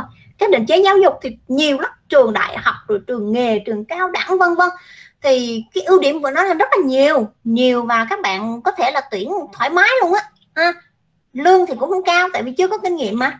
Nhưng mà một cái nhược điểm á, là um, các bạn chưa có kinh nghiệm. Đồng thời là khi các bạn mới ra trường á là các bạn cũng không xác định được gọi là cái ờ cái gọi là cái gì đó các bạn? Cái lợi thế của các bạn á hoặc là cái cái hoạt động nào mà các bạn cảm thấy là các bạn thích thú á à, nó khác đây là các bạn không biết cái nghề nào thì hợp á cho nên là các bạn um, thấy tuyển dụng thì đi vô làm nhưng mà làm cảm thấy không hợp xong rồi các bạn nghĩ à, đó là chính là cái rủi ro nên là không phải là đầu tiên ra là các bạn làm một nghề đó. ví dụ các bạn học về về về um, kế toán ra thì làm kế toán thì làm kế toán đó. nhưng mà các bạn làm kế toán các bạn cảm thấy mày rất không hợp. Em em phù hợp với việc cái là là là là marketing hơn hay là em à, phù hợp với cái công việc là um, giao dịch với khách hàng hơn chẳng hạn. Tại vì em rất là khéo nói là em nắm bắt cái cái cái tâm lý khách hàng rất là tốt. Đó. như vậy thì các bạn thấy là trong quá trình làm việc các bạn có thể thay đổi một cái thời gian đầu tiên như vậy rồi các bạn mới xác định là các bạn phù hợp với ngành nghề nào. Còn nền từ nền công nghiệp từ các cái đối thủ cạnh tranh hoặc là những cái doanh nghiệp tương tự nhau á thì hôm bữa cô nói với các bạn đây là một cái nguồn mà rất là phổ biến ở trong nghề bán hàng. Bởi vì là uh, những nhân viên bán hàng có một cái tuổi nghề nó ngắn à, cho nên là họ luôn luôn tranh thủ những cái cơ hội những cái, cái bước nhảy việc để mà họ tìm thấy một cái uh, một cái vị trí cao hơn một mức lương cao hơn. Cái ưu điểm của nguồn từ nền công nghiệp này đó là họ đã có kinh nghiệm ở trên thị trường kinh nghiệm trong việc bán hàng. Tại vì mình tuyển từ những cái kênh tương tự mà, cho nên là kinh nghiệm của họ là đầy rồi. Rồi cái thứ hai nữa là nếu như mình tuyển từ đối thủ cạnh tranh thì mình còn có thể nắm bắt được cái gì các bạn? Cái bí quyết kinh doanh hoặc là chính sách kinh doanh của công ty đối thủ từ cái anh nhân viên này ra nữa cơ. Đúng không? Đó. Nhưng mà nhược điểm thì như cô nói rồi đó. Rồi có thêm một lượng khách hàng nữa đó là ưu điểm. Nhưng mà nhược điểm thì cái vấn đề về về sự trung thành bởi vì là họ cứ nhảy nhảy nhảy như vậy đó thì có thể là có một cái vị trí khác nó hấp dẫn hơn um, thì họ sẽ sẵn sàng lại tiếp tục bỏ công ty mình và nhảy qua công ty khác. Thì họ lại làm lại như vậy đúng không họ có thể đem bí quyết kinh doanh rồi là vân vân vân vân đem một lượng khách hàng qua một cái công ty mới. À. À, ngoài ra nếu như các bạn tuyển dụng mà nhân viên bán hàng thì uh, có thể là nó sẽ dễ dàng hơn tại vì là nó không cái người nhân viên được tuyển mới này về dưới trướng của cái người quản trị cũ thì sẽ phải vô nề nếp của người quản trị cũ. Nhưng nếu như các bạn tuyển nhân viên ở cấp quản lý về đó, thì nó sẽ xảy ra cái trường hợp như thế này. Nhân viên bán hàng của các bạn không có đồng lòng. Vì cái ông quản lý mới này nè ông thành công như vậy đó, bởi vì ông có một cái phương pháp quản lý như vậy và ông ông sẽ vận dụng vào trong công ty này. Nhưng, cái đội ngũ bán hàng cũ thì họ quen với ông sếp cũ rồi. À dễ không sao, giờ giấc cũng không vấn đề gì, vân vân. Xong, ịnh một cái ông mới vô. Đúng không?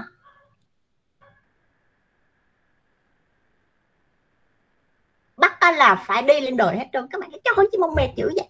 Làm việc chán rồi thích sếp cũ hơn. Nó có cái sự chống đối ở trong cái đội ngũ bán hàng. À, cho nên là đó cũng là một cái rủi ro nữa hơn các bạn ha. Rồi các cái nguồn khác thì nhiều lắm tuy nhiên là cô chỉ phân tích cho các cái nguồn chủ yếu như vậy thôi. À, về nội dung huấn luyện nhân viên bán hàng. À, nội dung huấn luyện nhân viên bán hàng. Thì sau khi mà chúng ta à, tuyển dụng nhân viên rồi thì chúng ta cần phải làm gì đây? Huấn luyện họ đúng không ạ um, ở ờ, cái vấn đề mà về về cái quy trình tuyển dụng rồi cái cách thức phỏng vấn rồi là cái bước á, thì, thì thì thôi đừng không quản trị nguồn nhân lực rồi đó. Cho nên là không có nói lại ở đây nữa. Và cái quy trình đó thì tùy mỗi công ty sẽ khác nhau. Ờ, có nhiều lúc đó là uh, các bạn tuyển qua người quen À, ví dụ như là quản lý bán hàng ờ, thông qua người quen hoặc là được giới thiệu gì đó xong rồi ô thôi về làm việc cho anh đi. Rồi ngày sau để làm việc luôn đó tuyển dụng gì đó đúng không? Hoặc là gặp nhau nói vài câu xem thử là kinh nghiệm gì gì đó là rồi xong. Không có không có hồ sơ không có bước không có gì hết rồi về là bắt đầu là hoàn thành hồ sơ sau. À, kiểu như vậy cho nên là tùy theo mỗi công ty. Tuyển dụng chính thức hoặc là tuyển dụng không chính thức đúng không? Có đăng tuyển dụng hay không có đăng tuyển dụng. À, thì à, sau khi mà chúng ta tuyển dụng nhân viên rồi thì chúng ta cần phải à, thiết lập một cái nội dung đó là đào tạo lực lượng bán hàng. Thì đây là một cái quá trình mà chúng ta cung cấp những kiến thức cũng như là hoàn thiện những cái kỹ năng những cái phẩm chất nghề nghiệp cho lực lượng bán hàng để họ có thể hoàn thành được những công việc mình giao. Và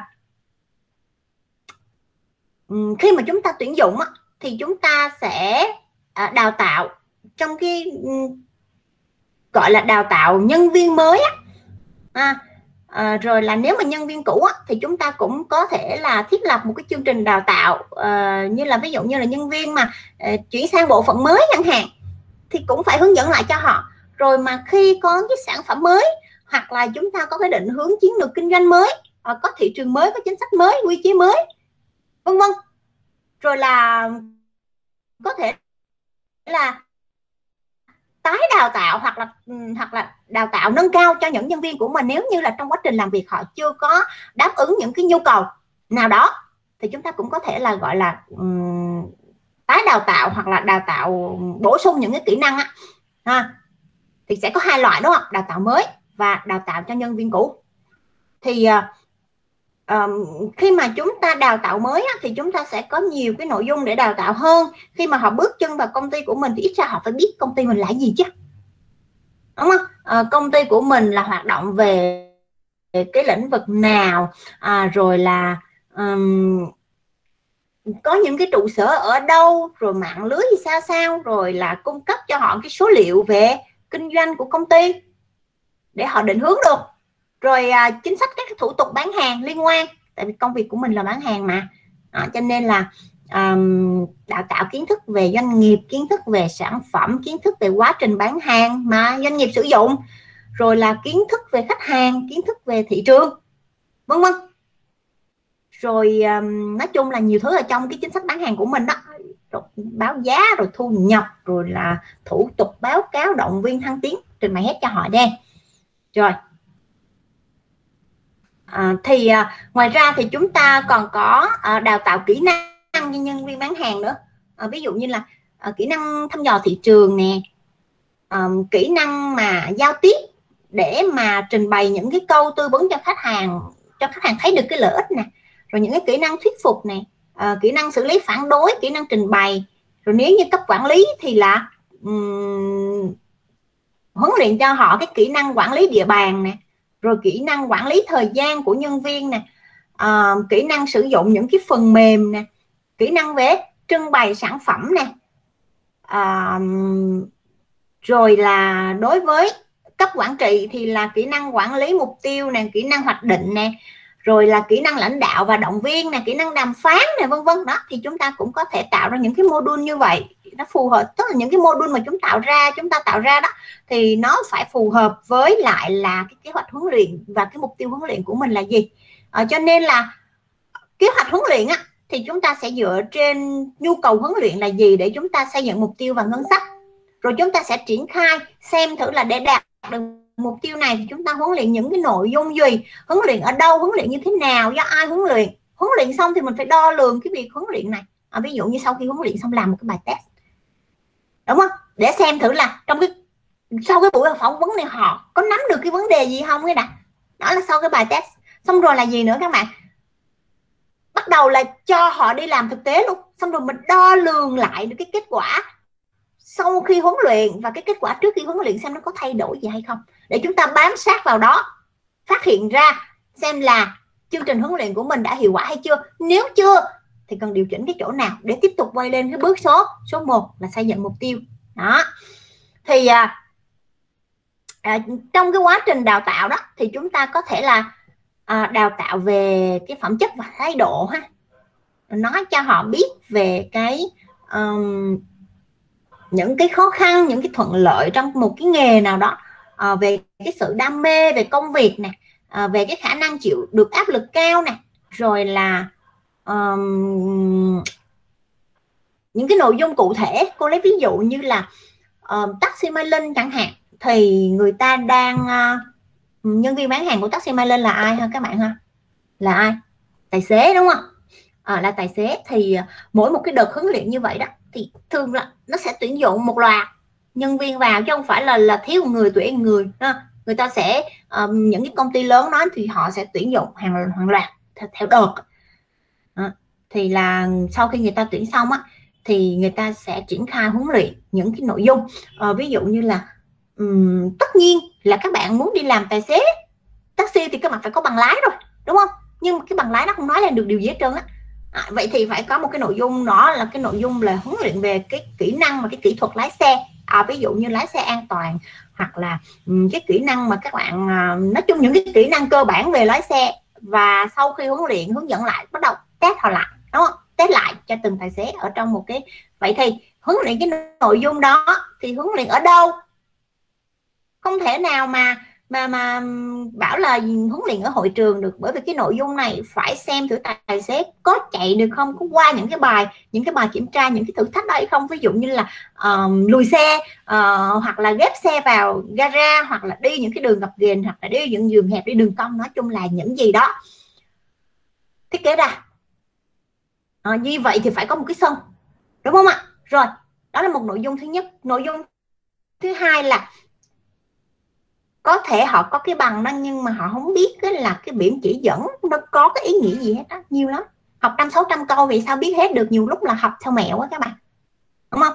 Rồi là như vậy thì chúng ta phải huấn luyện lại những tùy theo những cái địa bàn đúng không? Tùy những theo những cái địa bàn thông thường ví dụ ở Đà Lạt của mình thì sẽ có những cái biển báo nào rồi vân vân còn các bạn chạy trên quốc lộ thì lại có những cái biển báo khác nữa. Ờ, ví dụ như là ở các bạn chạy trên quốc lộ các bạn thấy là cái đèn xanh đèn đỏ nhưng mà nó có một cái bảng cao trên thế này nè. Xong rồi tới đó thì có xe thì chạy còn có xe thì dừng. Nhiều lúc không biết là tại sao cả. À, thì phải phải huấn luyện cho họ về cái nội dung đó. À, rồi là à, nội dung tiếp theo là xử lý hỏng hóc khi mà xem khi mà đang vận hành. Tức là khi mà các bạn đang chở khách đi mà xe bị hỏng thì sao? Trong trường hợp đang chở khách mà xe bị hỏng thì phải gọi về tổng đài báo xe hỏng ở một cái vị trí nào đó để tổng đài điều một cái xe khác tới để chở khách đi. Và mình ở lại đó mình xử lý những cái sự cố và cũng huấn luyện cho họ xử lý những cái sự cố đơn giản ví dụ đề xe hỏng nổ này à, rồi là bị à, bị nổ lốp thì có thể thay được lốp xe này à, rồi vân vân những cái cái cái hư hỏng cơ bản. Trong trường hợp ví dụ chở đi một cái đoạn đường nào đó vắng không có chỗ sửa gì sao? À, thì mình phải có cái kỹ năng đó. À, rồi là um, huấn luyện cho họ một cái nội dung đó là tuyến đường. Tuyến đường tên đường. À, thì bây giờ các bạn thấy là có có GPS ở trên xe hết rồi. Và khi mà khách đặt ở đâu đó thì là à, mình nhận mình nhận cuốc đó thì nó sẽ trên cái cái GPS nó sẽ chỉ cho mình cái, cái đường tới rồi à, nhưng mà có thể là uh, cũng phải hướng dẫn lại cho nhân viên của mình là tên đường này nó nằm ở đâu rồi là cái hệ thống giao thông như thế nào hay kẹt xe vào cái thời điểm nào đúng không nếu kẹt xe thì đi đường tắt là đi đường nào? Uh, đường một chiều như thế nào? Ví dụ như các bạn thấy ở Đà Lạt mình là có uh, mấy cái đường một chiều đó đúng không? Mà nếu không để ý thì cũng không biết luôn. Đó. rồi ở Sài Gòn thì buồn cười lắm cái đường nó đang thẳng đó các bạn xong rồi có đúng một đoạn khoảng độ 700 mét. Đó là đường một chiều xong đó là hai chiều tiếp. Đó, tới đó các bạn phải quẹo qua đi đường bàn cờ quẹo đó lại chạy lên. Ví dụ như là các bạn đi ờ, Nguyễn Thị Minh Khai đó chẳng hạn tới đoạn tự nhiên nó một chiều vô lý phản khoa học. Nhưng mà không biết tại sao thì cũng phải biết được cái điều đó không tôi thấy đường thẳng cứ thế mà chạy. Chạy sao? Đúng chưa? Rồi một cái module khác là một cái module gọi là phục vụ khách hàng. À ví dụ như là khi mà các bạn nhận khách thì các bạn làm gì? À, ví dụ như là phải bước xuống xe ha mở cửa xe cho khách trèo lên xách đồ cho khách bỏ lên. Kiểm tra xem có sót đồ của khách hàng không rồi mới lên xe. Lên xe thì sao? Hỏi khách hàng đi đâu xác nhận lại một lần nữa. Rồi chở khách hàng đi. Trong cái quá trình mà giao tiếp với khách hàng thì sử dụng từ ngữ như thế nào vân vân phải quy định như vậy. Rồi là quy định đồng phục phải đeo bản tên rồi phải uh, như thế nào đó. Uh, rồi là nhiều lắm kỹ năng nói chung là cái module về thanh toán này cái module về việc là ừ, các bạn lấy hóa đơn như thế nào khi mà các bạn đổ xăng đổ đồ đó rồi là về thanh toán lại uh, trong ngày uh, rồi là um, nhiều lắm.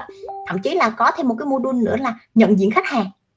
Uh, tại vì là uh, trong một cái thời gian là bên Mai Linh và bên các hãng taxi là rất là hay bị cướp taxi với các bạn. Uh, thì là đưa thêm vào một cái module là nhận diện khách hàng đó là trong cái thời điểm nào nhận khách hàng và ờ, cái hành vi của họ diễn ra sao thì phải cẩn trọng và không nhận khách. Hoặc là nếu như ở trên xe mà bị uy hiếp thì phản ứng lại như thế nào rồi báo về tổng đài ra làm sao đó vân vân rất là nhiều thứ. Như vậy thì chúng ta phải xác định được những cái nội dung nào cần phải huấn luyện cho nhân viên của mình để có thể um, làm được việc một cách hiệu quả. À, thì như cô nói đó mỗi công ty á, các bạn sẽ uh, có những cái nội dung cụ thể khác nhau ha.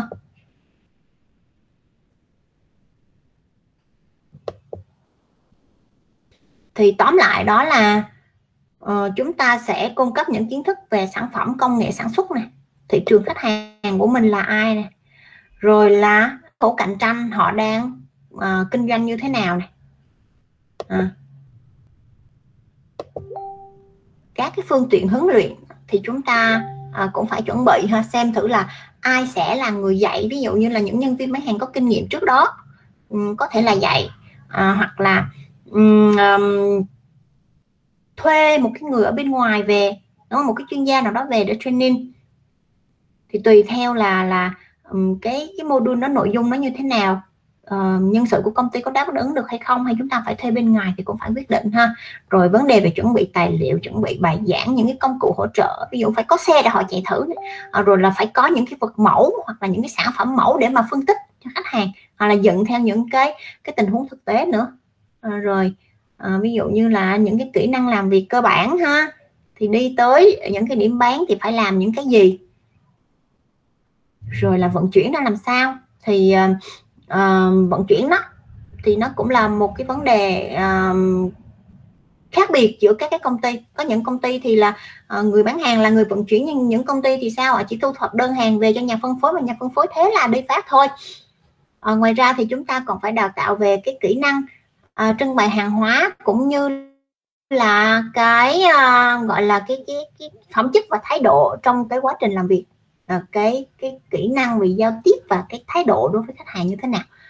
Ờ, thì ở trong uh, bán lẻ như hôm bữa cô nói đó thì kỹ năng trưng bày hàng hóa rất là quan trọng. Ừ.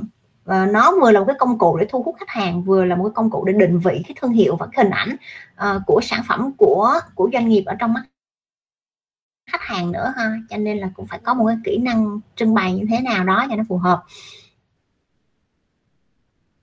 à, và cái phương pháp huấn luyện thì là um, chúng ta sẽ bám sát theo việc là uh, học đi đôi với hành là khi mà bạn nghe thì có thể là bạn biết đó nhưng mà các bạn không nhớ được đúng không và khi mà các bạn thấy thì các bạn sẽ nhớ.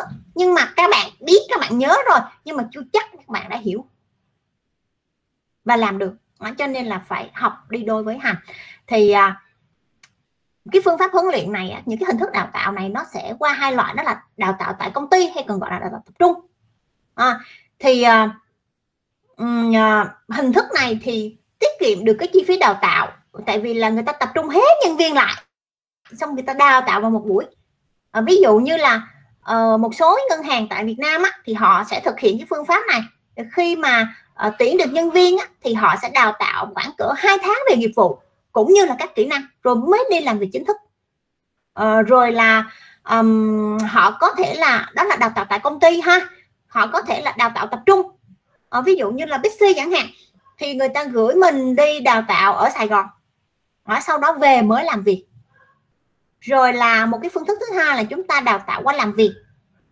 Tức là vừa làm vừa đào tạo luôn và cái phương pháp này nó hay áp dụng ở trong bán hàng này ờ, thì chúng ta sẽ sử dụng những cái đội ngũ nhân viên đang làm việc để trực tiếp hướng dẫn cho nhân viên mới. Thì lâu lâu tại các điểm outlet các bạn thấy là uh, một cái brand đi chào hàng nhưng mà lại có hai người nhân viên luôn đúng không ạ? À, và một người thì vô còn một người thì đứng quan sát xong rồi lâu lâu bắt đầu là chỉ chỉ vô mấy câu gì đó hoặc tư vấn cái gì đó.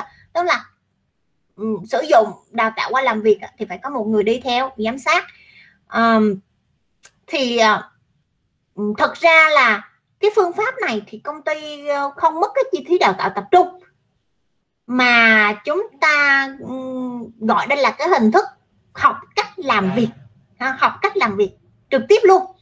Đó thì tùy theo các cái công ty người ta sẽ sử dụng cái cách cho nó phù hợp thậm chí là kết hợp cả hai cách này lại à, để mà nó mang lại một cái hiệu quả cao nhất ha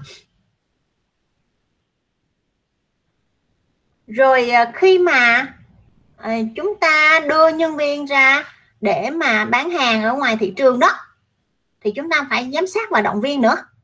Thì um, cái mục đích của việc giám sát là chúng ta phải kiểm soát và thúc đẩy nhân viên. À, ví dụ như là các bạn biết là con người mình có cái tính ì á các bạn lười á ỷ y á. À, ví dụ như là cô đi dạy xong rồi cô nói với các bạn là bây giờ làm bài kiểm thảo luận nhóm nha và làm bài trong vòng 45 phút nha. Xong rồi các bạn ngồi các bạn thảo luận. Ô các bạn thảo luận rôm rã hết 30 phút không ghi gì vô giấy hết trơn xong rồi cô chỉ ngồi trên thôi. À, cô ngồi trên 45 phút xong nó nấp bài. Rất nhiều nhóm chưa thảo luận được đó đúng không? Và cũng chưa có bài đến nộp luôn. Còn giám sát là sao ạ? À? ví dụ như cô nhắc nhở à, cô nói là làm tới đâu rồi? Làm được câu một chưa? Còn có 30 phút nữa thôi nha à, rồi một hồi nữa cô lại nhắc là gì? Xong hết chưa? Mình ghi vô đi nha. Còn 5 phút nữa nộp bài rồi đó. Tức là có một cái sự giám sát thúc đẩy như vậy thì các bạn sẽ làm việc hiệu quả hơn. Đúng không? Như như uh, mấy đứa con nít nữa cũng vậy. Nó kêu nó ngồi làm bài các bạn các bạn không có giám sát các bạn không nhắc nhở không bao giờ nó làm bài được. Nó ngồi một ngày nó cũng không làm được nữa. Cho nên là chúng ta phải um, phải giám sát hơn các bạn hơn. Phải giám sát nhân viên um, uh, bán hàng. À, của mình ở trên ở trên thị trường. Thì à, để mà giám sát được lực lượng bán hàng thì chúng ta phải xây dựng các cái tiêu chuẩn để kiểm soát để giám sát. Và chúng ta phải có một cái thước đo để mà chúng ta đo lường và so sánh các cái chỉ tiêu của hoạt động bán hàng. À, và khi mà chúng ta giám sát như vậy đó thì chúng ta sẽ tìm ra được các cái nguyên nhân cũng như đưa ra được những cái cái kết quả ha để mà chúng ta điều chỉnh để đưa cái hoạt động bán hàng của chúng ta đạt được những cái mục tiêu mà chúng ta đề ra. Thì à, đối với lực lượng bán hàng á, thì mỗi công ty có những cái tiêu chí và cách đánh giá riêng. Thì um, tùy theo cái đặc trưng mà mình là người quản trị bán hàng mình phải có những cái căn cứ cụ thể để mà để mà đánh giá và kiểm soát giám sát những cái hoạt động bán hàng này ở thị trường. Thì à, cái vai trò của cái hoạt động giám sát là chúng ta là giám sát để mà chúng ta kịp thời phát hiện ra các cái vấn đề của bán hàng và quản trị bán hàng nếu có.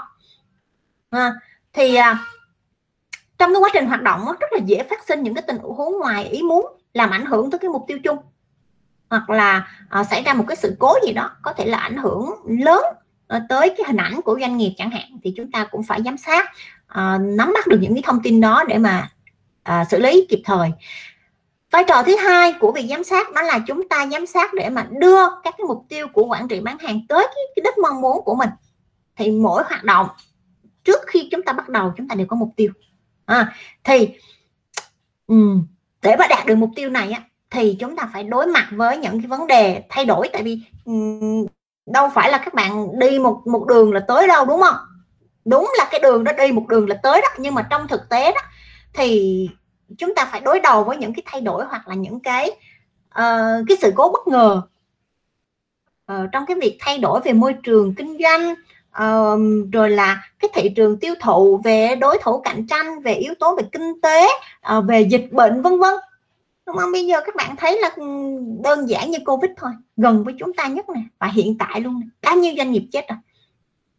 Mục tiêu thì đề ra đó nhưng mà đâu có ai mua đầu bán đúng không? Vậy thì chúng ta phải thay đổi thay đổi cái gì? Thậm chí là thay đổi cả mô hình bán hàng luôn á.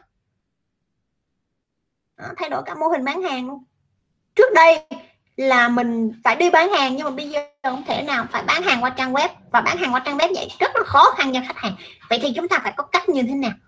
Tiếp cận với khách hàng làm sao? Mời chào như thế nào? Tạo ra những cái uh, cái gói sản phẩm làm sao để phù hợp với khách hàng để để mà chúng ta có thể uh, kiểm soát được những cái sự thay đổi đó để đưa ra những cái phương pháp phù hợp uh, và điều chỉnh mục tiêu theo cái hướng mà có lợi nhất cho doanh nghiệp.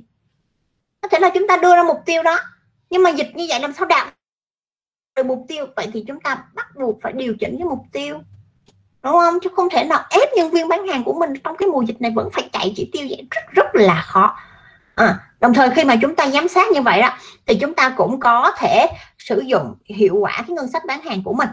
Thì, thì những cái khoản đầu tư nè à, rồi những cái khoản chi phí cho hoạt động bán hàng á nó sẽ mang lại một cái hiệu quả cao hơn cho doanh nghiệp.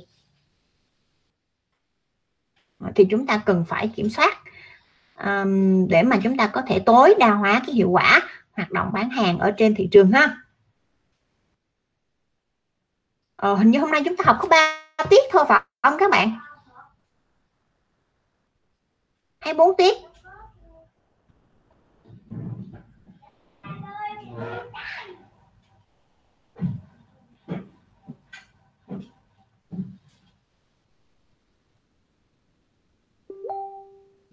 Học 3 tiết phải không các bạn? Cô nhiều lớp quá cô không nhớ được. Nếu như học 3 tiết thì dạ, thì chúng ta học một tí nữa ừ nếu học 3 tiết thì chúng ta học tí nữa rồi chúng ta nghỉ sớm luôn khỏi khỏi giải lao ha. À, với lại là hôm bữa dạ. nghỉ một buổi á các bạn thì lớp của chúng ta trống buổi nào không? Để cô bù cho các bạn. Chiều ngày mai các bạn có lịch học không?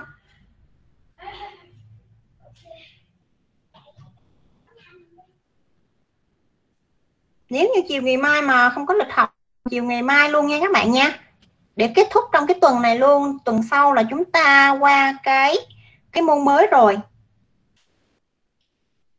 Ôi, mà chiều mai hình như là, để cô xem.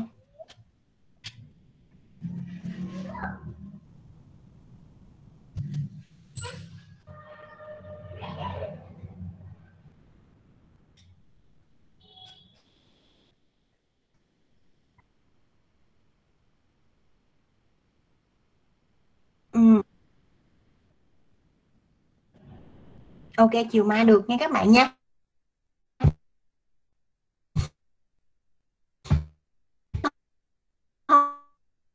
Không buộc thì không đủ thời gian bởi vì các bạn còn còn phải làm bài kiểm tra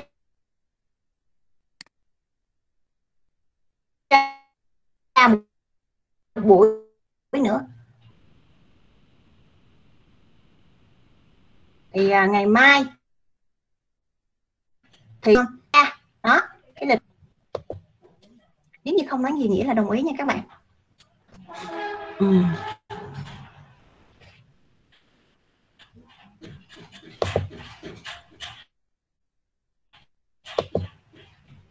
thì uh, chúng ta sẽ có hai cái hình thức giám sát lực lượng bán hàng thì uh, trực tiếp thì chúng ta có thể sử dụng kế hoạch làm việc nè rồi phân tích thời gian nhiệm vụ quản lý thời gian làm việc hoặc là đi kiểm tra đi cùng với nhân viên đến thị trường.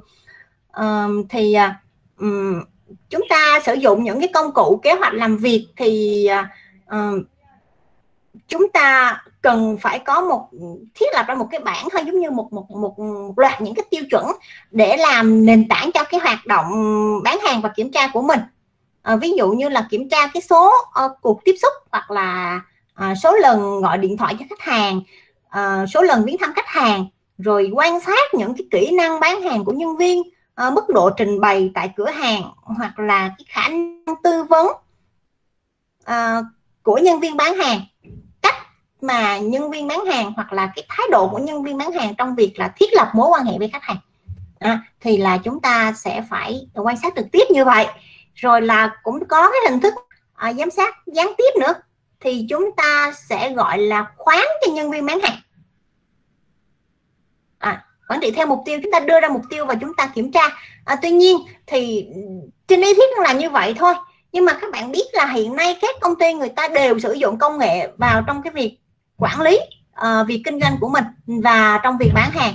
Cho nên là chỉ cần sử dụng công nghệ thì các bạn đã giám sát được. Như hôm bữa cô nói với các bạn đó là nó rất là dễ đúng không?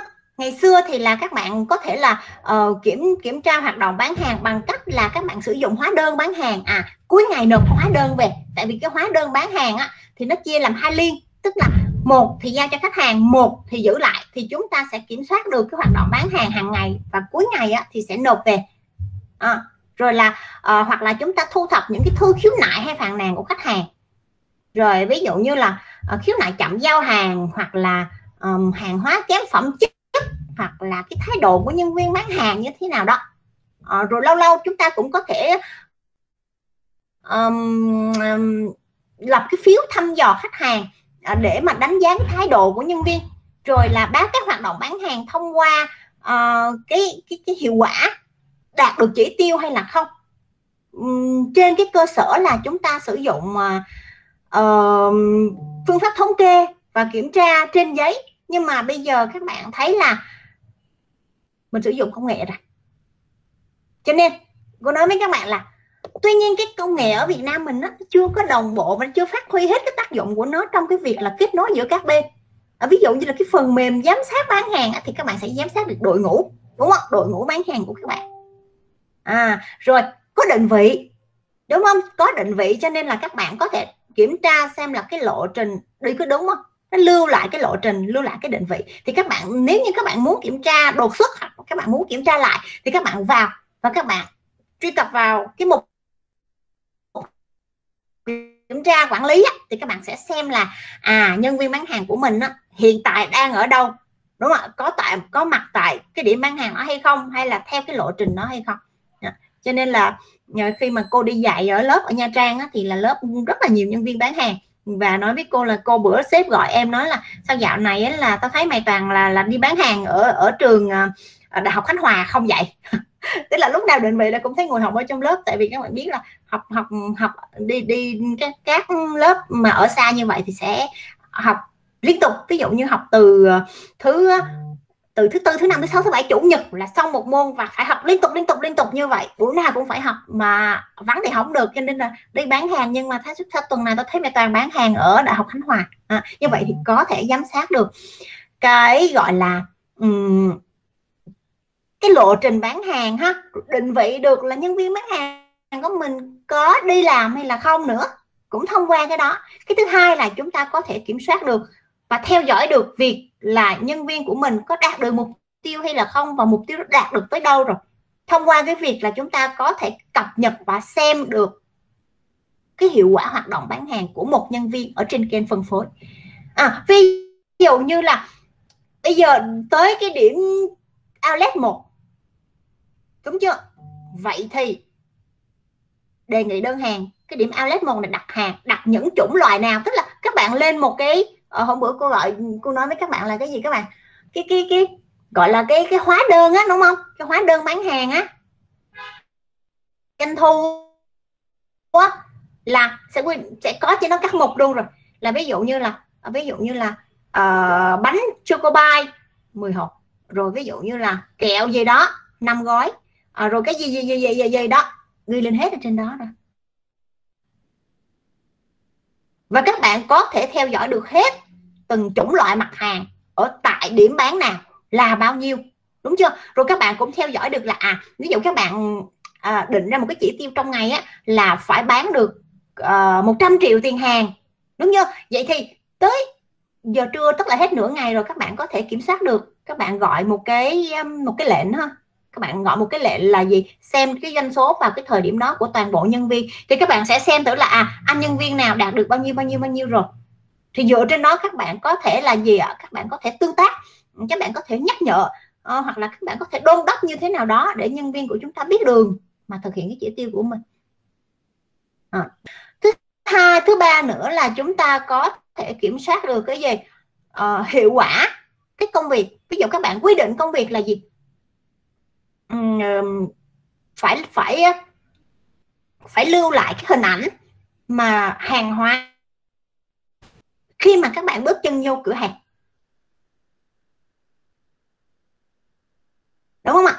Và sau khi mà có đơn hàng mới thì ví dụ như các bạn vào các bạn chụp cái kệ hàng đó à là hàng đó bây giờ tôi vô là nó vậy đó nó nó, nó nằm sắp nằm ngửa vậy đó và còn đó nhiêu đó đó. Và sau khi mà mà đặt hàng đó thì tôi bưng hàng ví dụ những cái sản phẩm nhỏ nhỏ hoặc những công ty mà nhân viên bán hàng đem hàng theo để bán luôn bánh kẹo rồi tại tại các điểm outlet đó, thì bưng hàng vô luôn một xếp lên kệ thật là xinh đẹp đúng chưa? Chụp hình lại định lưu. Rồi chúng ta cũng có thể kiểm soát được là gì các bạn? Kiểm soát được uh, gọi là các cái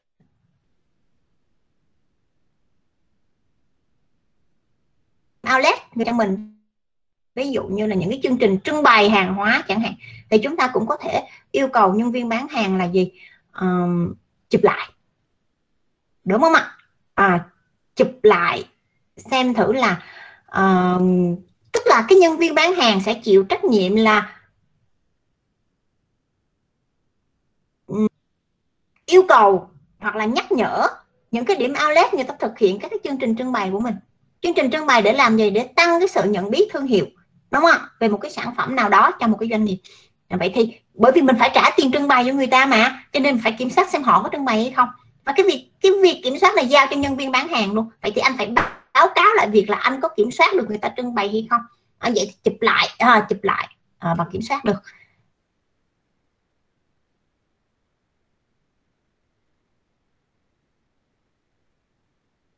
à, thì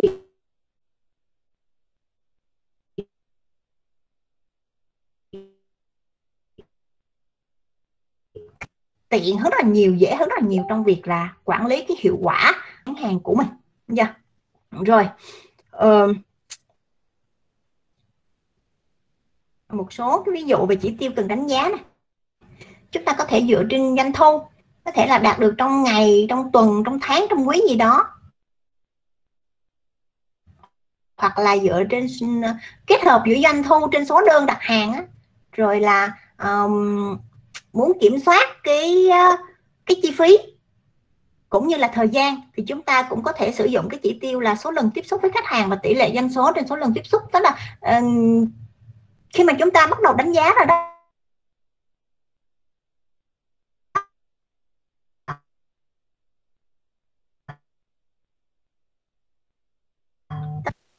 ví dụ như chúng ta muốn kiểm soát là là là doanh số trên cái sản phẩm thiết yếu thì chúng ta xem cái số lượng đơn hàng và doanh số trên sản phẩm thiết yếu rồi là à, xác định cái chi phí cho mỗi loại đơn hàng này bao nhiêu để mà có thể kiểm soát được cái chi phí này. Rồi à, chúng ta cũng sẽ à, dựa trên kết quả đánh giá đó để ghi nhận phần thưởng. Thì ghi nhận phần thưởng thì như, như hồi nãy cô phân tích cho các bạn rồi đó. Ừ.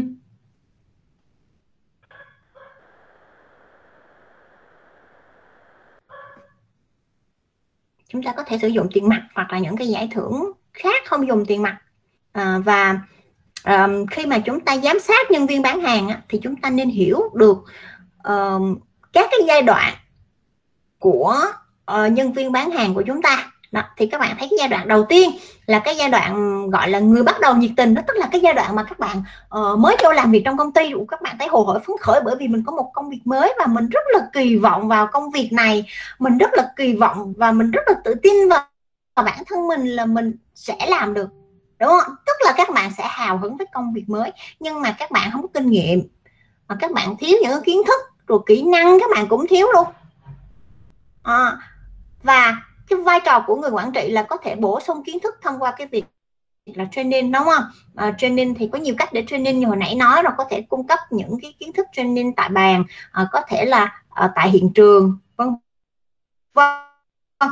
Rồi là chúng ta có thể bỏ nhiều thời gian cùng nhân viên sale hơn để mà hướng dẫn à, rồi là hỗ trợ họ để mà xử lý những cái vấn đề hướng dẫn cho họ những cái khó khăn vượt qua những cái khó khăn trong quá trình làm việc à, đồng thời là các bạn biết tại sao mà chúng ta phải thảo luận các lợi ích lâu dài khi công tác tại công ty bởi vì cái giai đoạn này vô thấy khó quá thấy làm gì cũng khó hết trơn nó nản. À, cho nên là chúng ta vừa phải gì ạ? Vừa phải training và vừa phải kéo họ lại nữa. Đúng không? Vừa phải cố gắng giữ họ lại bằng cách là thảo luận các lợi ích lâu dài hỗ trợ chỉ dẫn giám sát họ giúp họ giải quyết những cái vấn đề. À, trong cái giai đoạn này chỉ dẫn giám sát ha. Rồi um,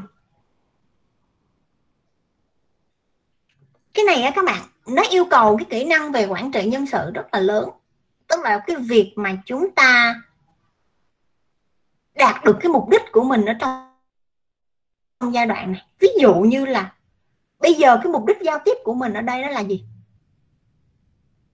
Vừa phải làm cho nhân viên này tốt hơn giải quyết được cái công việc và tức là vừa hoàn thiện cho họ đó hoàn thiện cho họ về kỹ năng trong công việc mà vừa phải làm gì các bạn? Vừa phải nâng đỡ tinh thần cho họ nữa. À, nên nâng đỡ tinh thần cho họ để mà họ có cái động lực họ vượt qua cái giai đoạn này. Và họ rơi vào giai đoạn thứ hai đó là người học việc vỡ mộng. Và rất nhiều người rơi vào đây. Thật ra là công việc nào nó cũng khó hết đó các bạn. Và đầu tiên khi các bạn đi làm các bạn không có một cái kinh nghiệm gì cả. À, ví dụ như là khi cô đi dạy chẳng hạn thì các bạn biết là giai đoạn đầu tiên á, không có kinh nghiệm mà cũng chưa có quen. Cho nên là um, không biết cách truyền đạt. À, rồi là không biết cách gọi là mở rộng cái vấn đề ra. Không biết cách quản lý cái thời gian. Không như ví dụ như là à, các bạn hay cái từ cháy giáo án hoặc là giáo án bị đóng băng á ha thì là khó lắm luôn á các bạn.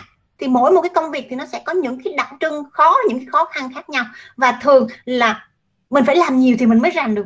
Chứ không thể nào bảo là em là super siêu nhân cho nên là em vô phát em làm được luôn. Ít lắm, hiếm lắm. Cho nên là thường là các bạn sẽ rơi vào cái đoạn vỡ mộng này. Các bạn cảm thấy khó khăn và các bạn cảm thấy nản cực kỳ luôn và các bạn càng kỳ vọng vào công việc này các bạn càng kỳ vọng vào bản thân thì cái sự thất vọng và cái sự mà gọi là các bạn rơi từ trên trời và các bạn rơi xuống một cái bạch đó nó càng to. Đó. và cái mức độ hiểu biết về ngành nghề này vẫn chưa có full vẫn chưa có có đầy đủ đâu các bạn. À, vẫn còn thấp á. Thì cái gia vai trò của nhà quản trị trong giai đoạn này là còn khó hơn giai đoạn trước nữa. Thứ nhất là phải củng cố niềm tin bởi vì nó nản quá. Thứ hai là phải giải tỏa những cái tâm lý và chia sẻ những khó khăn về tinh thần cũng như là khả năng đồng thời là gì các bạn? Vẫn phải gì? Hỗ trợ để giúp cho nhân viên của mình xử lý được những cái vấn đề khi họ gặp phải trong giai đoạn này. À, ví dụ như là cái giai đoạn này là đang thất vọng tràn trề đang đau khổ tràn ngập con tim mà sếp còn la cho một trận để kêu trời có cái việc đó mà em bán không được em làm không được thì em làm được cái gì? Rồi nó về nó nghỉ việc luôn. À, trong khi đó thì làm sao các bạn? Ví dụ như là thôi cố gắng lên nha ai mới vô nghề cũng vậy thôi ngày xưa anh cũng vậy nhưng mà em phải để ý những cái này. Tức là đang làm gì các bạn à, vừa an ủi nè vừa cũng có niềm tin vừa giải tỏa tâm lý rồi vừa chia sẻ những khó khăn đó là em là em phải dụ như trong trường hợp này, nè em đừng có làm vậy mà là em phải làm vậy làm vậy làm vậy. Tức là mình chia sẻ những cái khó khăn và giúp họ vượt qua. À, thì cái giai đoạn này là cái giai đoạn mà chúng ta bị mất nhân viên nhiều nhất bởi vì là họ không vượt qua được. Họ cảm thấy quá khó khăn à, đồng thời là um, cái vai trò của người quản trị có thể là cái, cái, cái, cái, cái người quản lý đó họ không có tâm lý hoặc là họ không nắm bắt được các cái giai đoạn á, thì cũng rất có thể là um, nhân viên của chúng ta sẽ gọi là bỏ cuộc ở cái giai đoạn này. Thì bỏ cuộc thì rõ ràng là các bạn thấy là gì? Mình cũng đã tốn chi phí tuyển dụng mình cũng đã tốn cái gì? Uh, chi phí về đào tạo cũng đã duy trì một cái thời gian rồi đúng không ạ? Thì À, mình sẽ phải đánh giá lại xem là những cái người này, khi họ vượt qua thì họ có tốt lên không? Tức là họ có cái khả năng không? Thì thật ra là ở giai đoạn nào cũng vậy các bạn. Các bạn cũng phải sàng lọc chứ không phải chỉ sàng lọc ở giai đoạn đầu. Ví dụ như là các bạn làm việc cho các bạn hai tháng hoặc 3 tháng hoặc một tháng gì đó, các bạn thấy rõ ràng cái người này hoàn toàn không có năng lực và không có sở trường trong lĩnh vực này. Thì làm sao? Để cho họ vỡ mộng luôn thôi đúng không? Nhưng mà mình sẽ đánh giá là à bây giờ người này có năng lực có thể làm việc được nhưng mà đang rơi vào giai đoạn này thì mình phải động viên họ. Đó. Rồi vượt qua giai đoạn này thì đó là giai đoạn người tham gia miễn cưỡng. Thì đặc tính của giai đoạn này là um, mức độ hiểu biết khá là đầy đủ rồi và ta đây làm việc cũng hơi bị ok rồi. Cho nên là bắt đầu nản á các bạn nản là nản bởi vì là chán cái công việc này quá nó thật là bình thường và ngày này qua ngày khác đều như vậy thì nó chán đời ghê. Nên là khi mà mình vui thì mình làm còn có khi thì thì mình không làm. À, đặc biệt là nếu như là giao thêm việc cho mình hoặc là chỉ đạo mình mình không thích rồi đó. Tại vì thật ra cái giai đoạn này là các bạn có kỹ năng rồi có sự hiểu biết rồi. Và các bạn biết ở trong công việc thì sao? Mỗi người người ta có một cái cách giải quyết riêng mà. Đúng không? Có những cái cách riêng của mình và nó có hiệu quả riêng à, do đó là gì? Nếu như các bạn ừ, phải làm theo kiểu của người ta các bạn biết làm thì các bạn cứ để ý đây ví dụ như các bạn lái xe hay là các bạn nấu ăn hay là các bạn làm gì đó các bạn làm được chứ không phải là không được. Nhưng mà một người cứ em cái này không được phải làm nhà phải làm như kia. Nhưng mà cuối cùng nó cũng vậy thôi. Các bạn bực mình không các bạn thấy bực mình lắm. À, cho nên là cái vai trò của nhà quản trị ở giai đoạn này là chúng ta vừa phải gọi là um, làm cho nhân viên của mình thấy được cái tầm quan trọng của họ. À tức là um, sếp cũng gọi là cũng để mình á. À, tức là đôi khi giao cả việc và cả quyền nữa. Và khi giao việc và quyền như vậy luôn tự nhiên họ thấy họ quan trọng hơn và họ giống như họ thấy là mình có một cái sự gì đó phát triển hoặc là thăng tiến đó, tức là một cái động lực để mà làm việc hơn. Và khi giao cả việc và quyền như vậy đó à, rồi thì các bạn sẽ thấy được là chúng ta vừa nâng được cái cảm nhận của nhân viên của mình lên về trong cái vấn đề đó, mà vừa gì các bạn, vừa tận dụng và khai thác được cái gì ạ? À? khai thác được, gọi là, cái cái năng lực riêng của mỗi người đó. Bởi vì họ có cách giải quyết của họ. Không việc gì mà mình phải nhúng tay vào cho nó mệt cho nên là ồ anh giao cho em cái việc vậy. Em tự làm và anh quản lý kết quả thôi. Đó. Rồi ừ, có những cái phần thưởng đúng lúc để khích lệ cho họ này rồi trong giai đoạn này thì sao? Nếu như có những cái khó khăn thì có thể là họ miễn cưỡng bởi vì là họ gặp một cái khó khăn gì đó đúng không thì chúng ta cũng gợi ý cho họ cách vượt qua các khó khăn. Cho nên các bạn thấy là cái sự tương tác và um, cái sự kết nối giữa sếp và nhân viên của mình là à rồi rồi. Cái vấn đề là hỏi ý kiến trước khi giao việc có một cái tầm quan trọng nào đó. Cái thứ hai nữa là họ rành cái việc này có khi và rành hơn mình mình là người quản lý đúng không ạ? Tất nhiên việc mình sẽ biết. Nhưng mà tuy cụ thể như thế nào họ là người làm. Cho nên là họ sẽ biết hơn. À bây giờ anh uh, muốn triển khai cái sản phẩm mới này ra nè. Em đi bán em thấy là bây giờ mình nên nó là bán cho cái nhóm khách hàng nào trước. Đúng không? Hỏi ý kiến đó khi tức là em là người phải đi bán đó tức là giao việc cho em là đi bán nhưng mà hỏi ý kiến là à bây giờ anh giao cho em được em nhắm được không? Và ừ, và em coi thử cái nhóm khách hàng nào. Ok nhất thì bán cho họ trước đây để mà mà mình uh, gọi là ừ, có cái nền móng trước cái đã.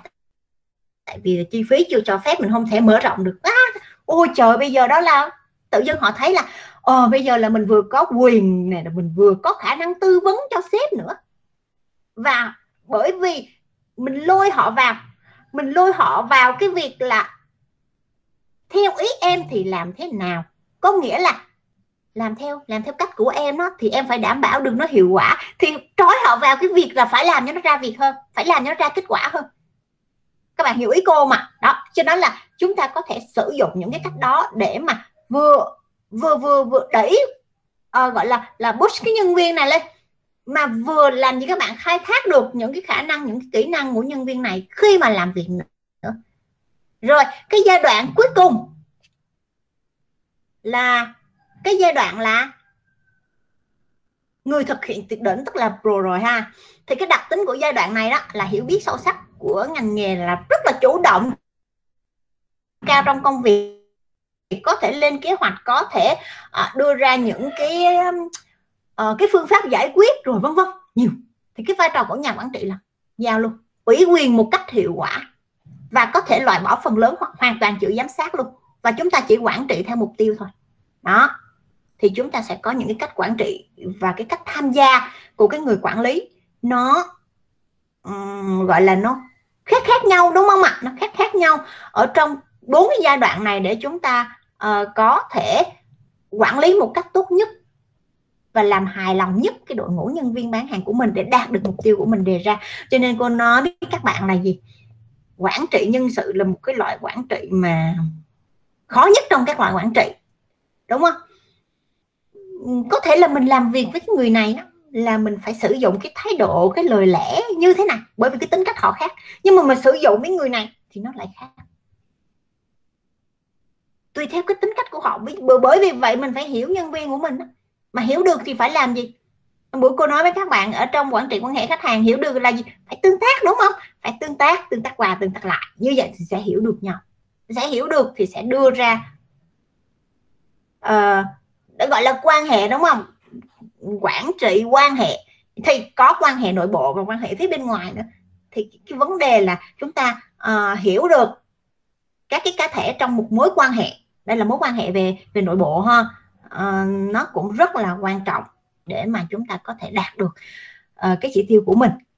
Thì uh, khi mà chúng ta đã uh, giám sát rồi đó và thực hiện cái quyền của mình cái cái cái cái hoạt động uh, quản trị của mình rồi thì chúng ta sẽ phải uh, đánh giá mức độ hoàn thành công việc.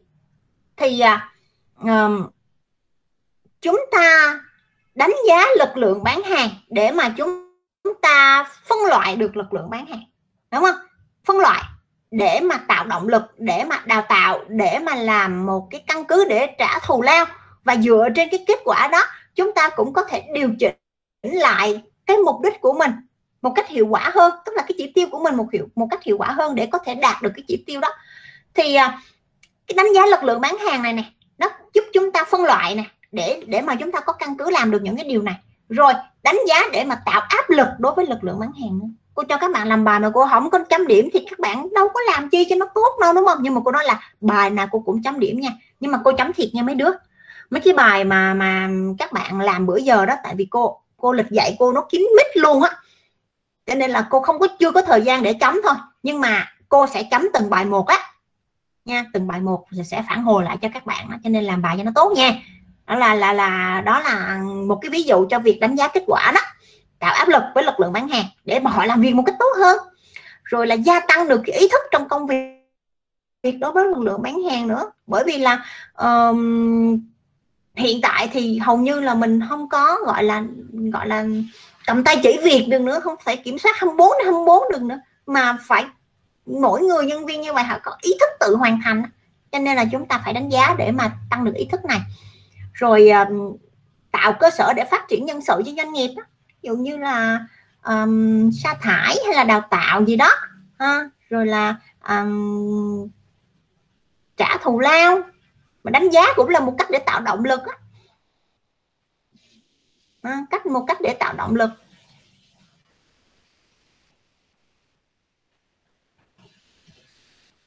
Các cái tiêu chuẩn mà chúng ta có thể dựa vào để đánh giá thì chúng ta có thể dựa vào tiêu chuẩn định lượng này. Thì tiêu chuẩn định lượng đó là gì các bạn? Cái kết quả uh, tiêu chuẩn kết quả bán hàng á thì uh, đây là một cái hệ thống tiêu chuẩn mà chúng ta sử dụng thường xuyên nhất nè và rất là dễ uh, rất là dễ. Và um, chúng ta có thể định lượng bằng cái doanh số bán bằng tiền hoặc là doanh số bán cho khách hàng mới hoặc là kiểm soát chi phí uh, bán hàng trên lợi nhuận. Thì cái tiêu chuẩn này sẽ được đánh giá dựa trên mục tiêu các bạn đề ra. Hồi nãy cô nói với các bạn là nếu như các bạn muốn đề ra đạt được mục tiêu gì thì sẽ đưa ra những cái tiêu chuẩn đó. Và đánh giá thì chúng ta sẽ đánh giá xem thử là so sánh xem có đạt được cái tiêu chuẩn hay là không. Đó. rồi là um, chúng ta có thể so sánh ha. Kỳ này so với kỳ trước hoặc là kỳ này so với mục tiêu mà đề ra hoặc là giữa các nhân viên trong cùng lãnh thổ. Uh, khi mà các bạn so sánh giữa các nhân viên trong trong cùng lãnh thổ hoặc tổ chức các cuộc thi bán hàng thì các bạn nên tạo nên so sánh à, nên tổ chức cuộc thi ở một cái điều kiện nó tương đồng với nhau tức là điều kiện thị trường điều kiện sản phẩm à, mức độ tiêu dùng hành vi tiêu dùng của các khách hàng tương tự với nhau chứ không thể nào mà à, cho một nhân viên ở khu trung tâm thi với một nhân viên ở ở một cái khu mà nông thôn được rõ ràng doanh số không thể nào chạy kịp nhau hết trơn. Một cái đơn hàng thôi là bằng nguyên một tháng của nhân viên ở cái khu kia rồi. À, thì um, ngoài cái tiêu chuẩn về định lượng này thì chúng ta còn có những cái tiêu chuẩn về định tính nữa.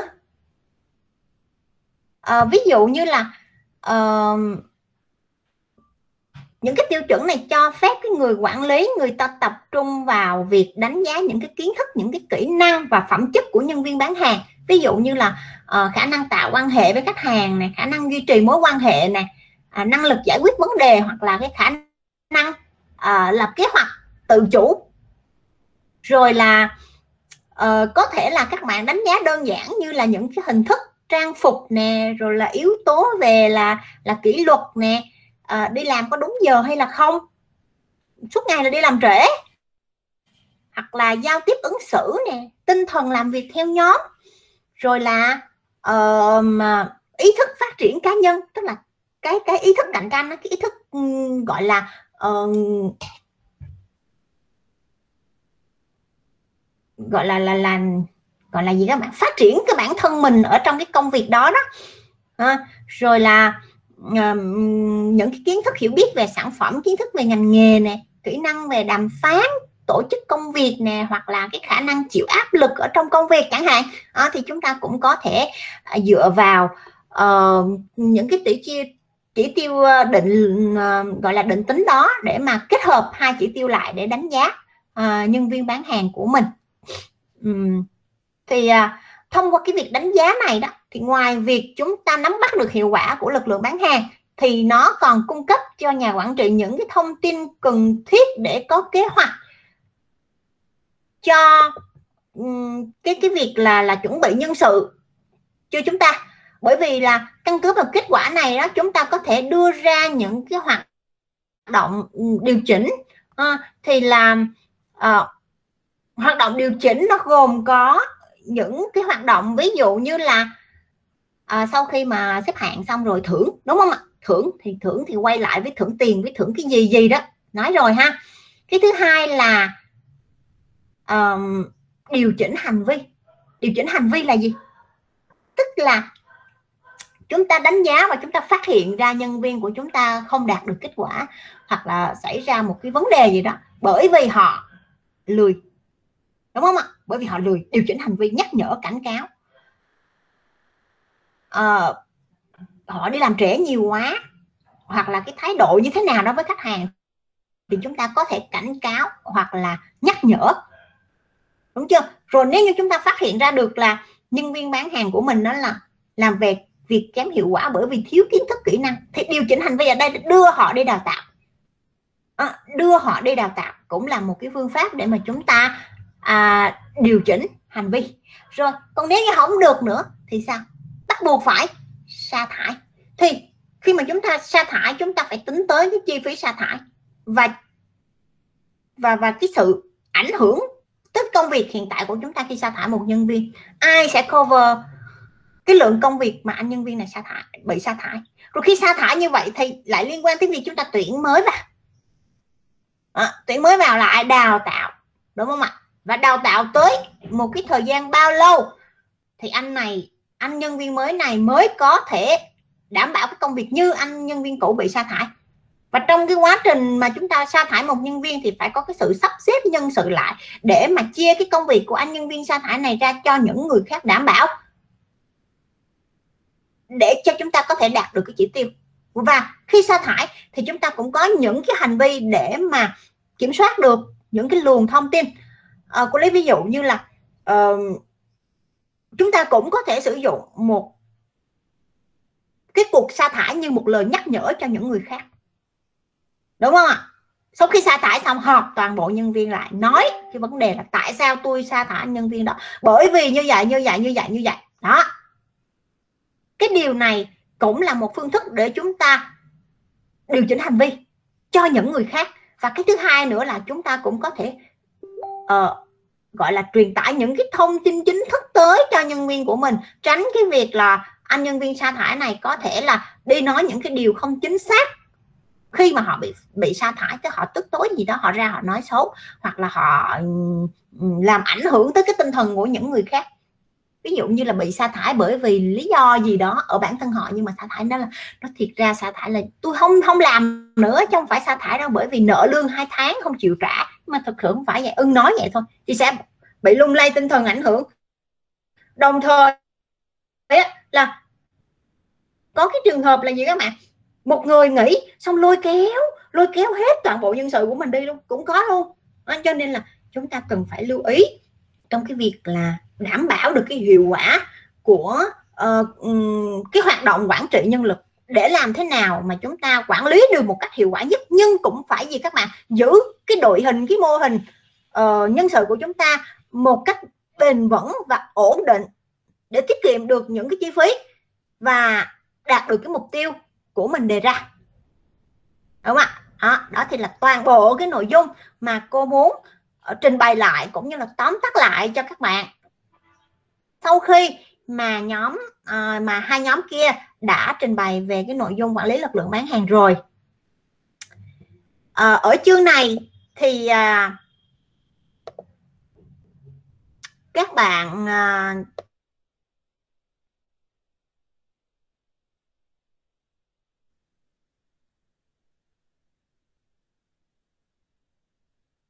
sẽ có bài tập. Thì uh, lần này bữa trước là các bạn làm bài nhóm hay cá nhân nhỉ?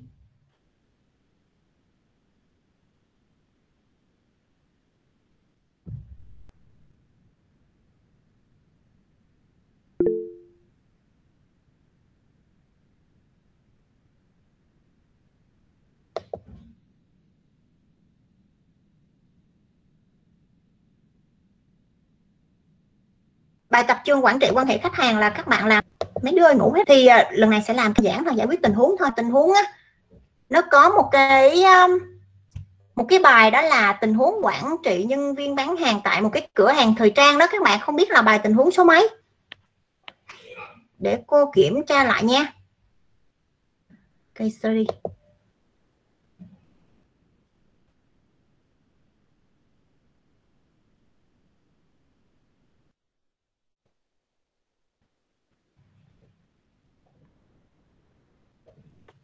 cái số 4 à, à các bạn làm chốt dùng cho cô cây số 5 trong tình huống quản lý nhân viên bán hàng và làm theo cá nhân. Thì bây giờ đầu tiên thì cô sẽ tạo cho các bạn một cái mục điểm danh trước để các bạn ra các bạn điểm danh. À, sau đó thì uh, cô sẽ tạo cho các bạn một cái một bài tập nha. Sáng cô dạy kết thúc trễ quá nên là chưa có kịp tạo cho các bạn luôn á. Ngày nào cũng dạy hai ba ca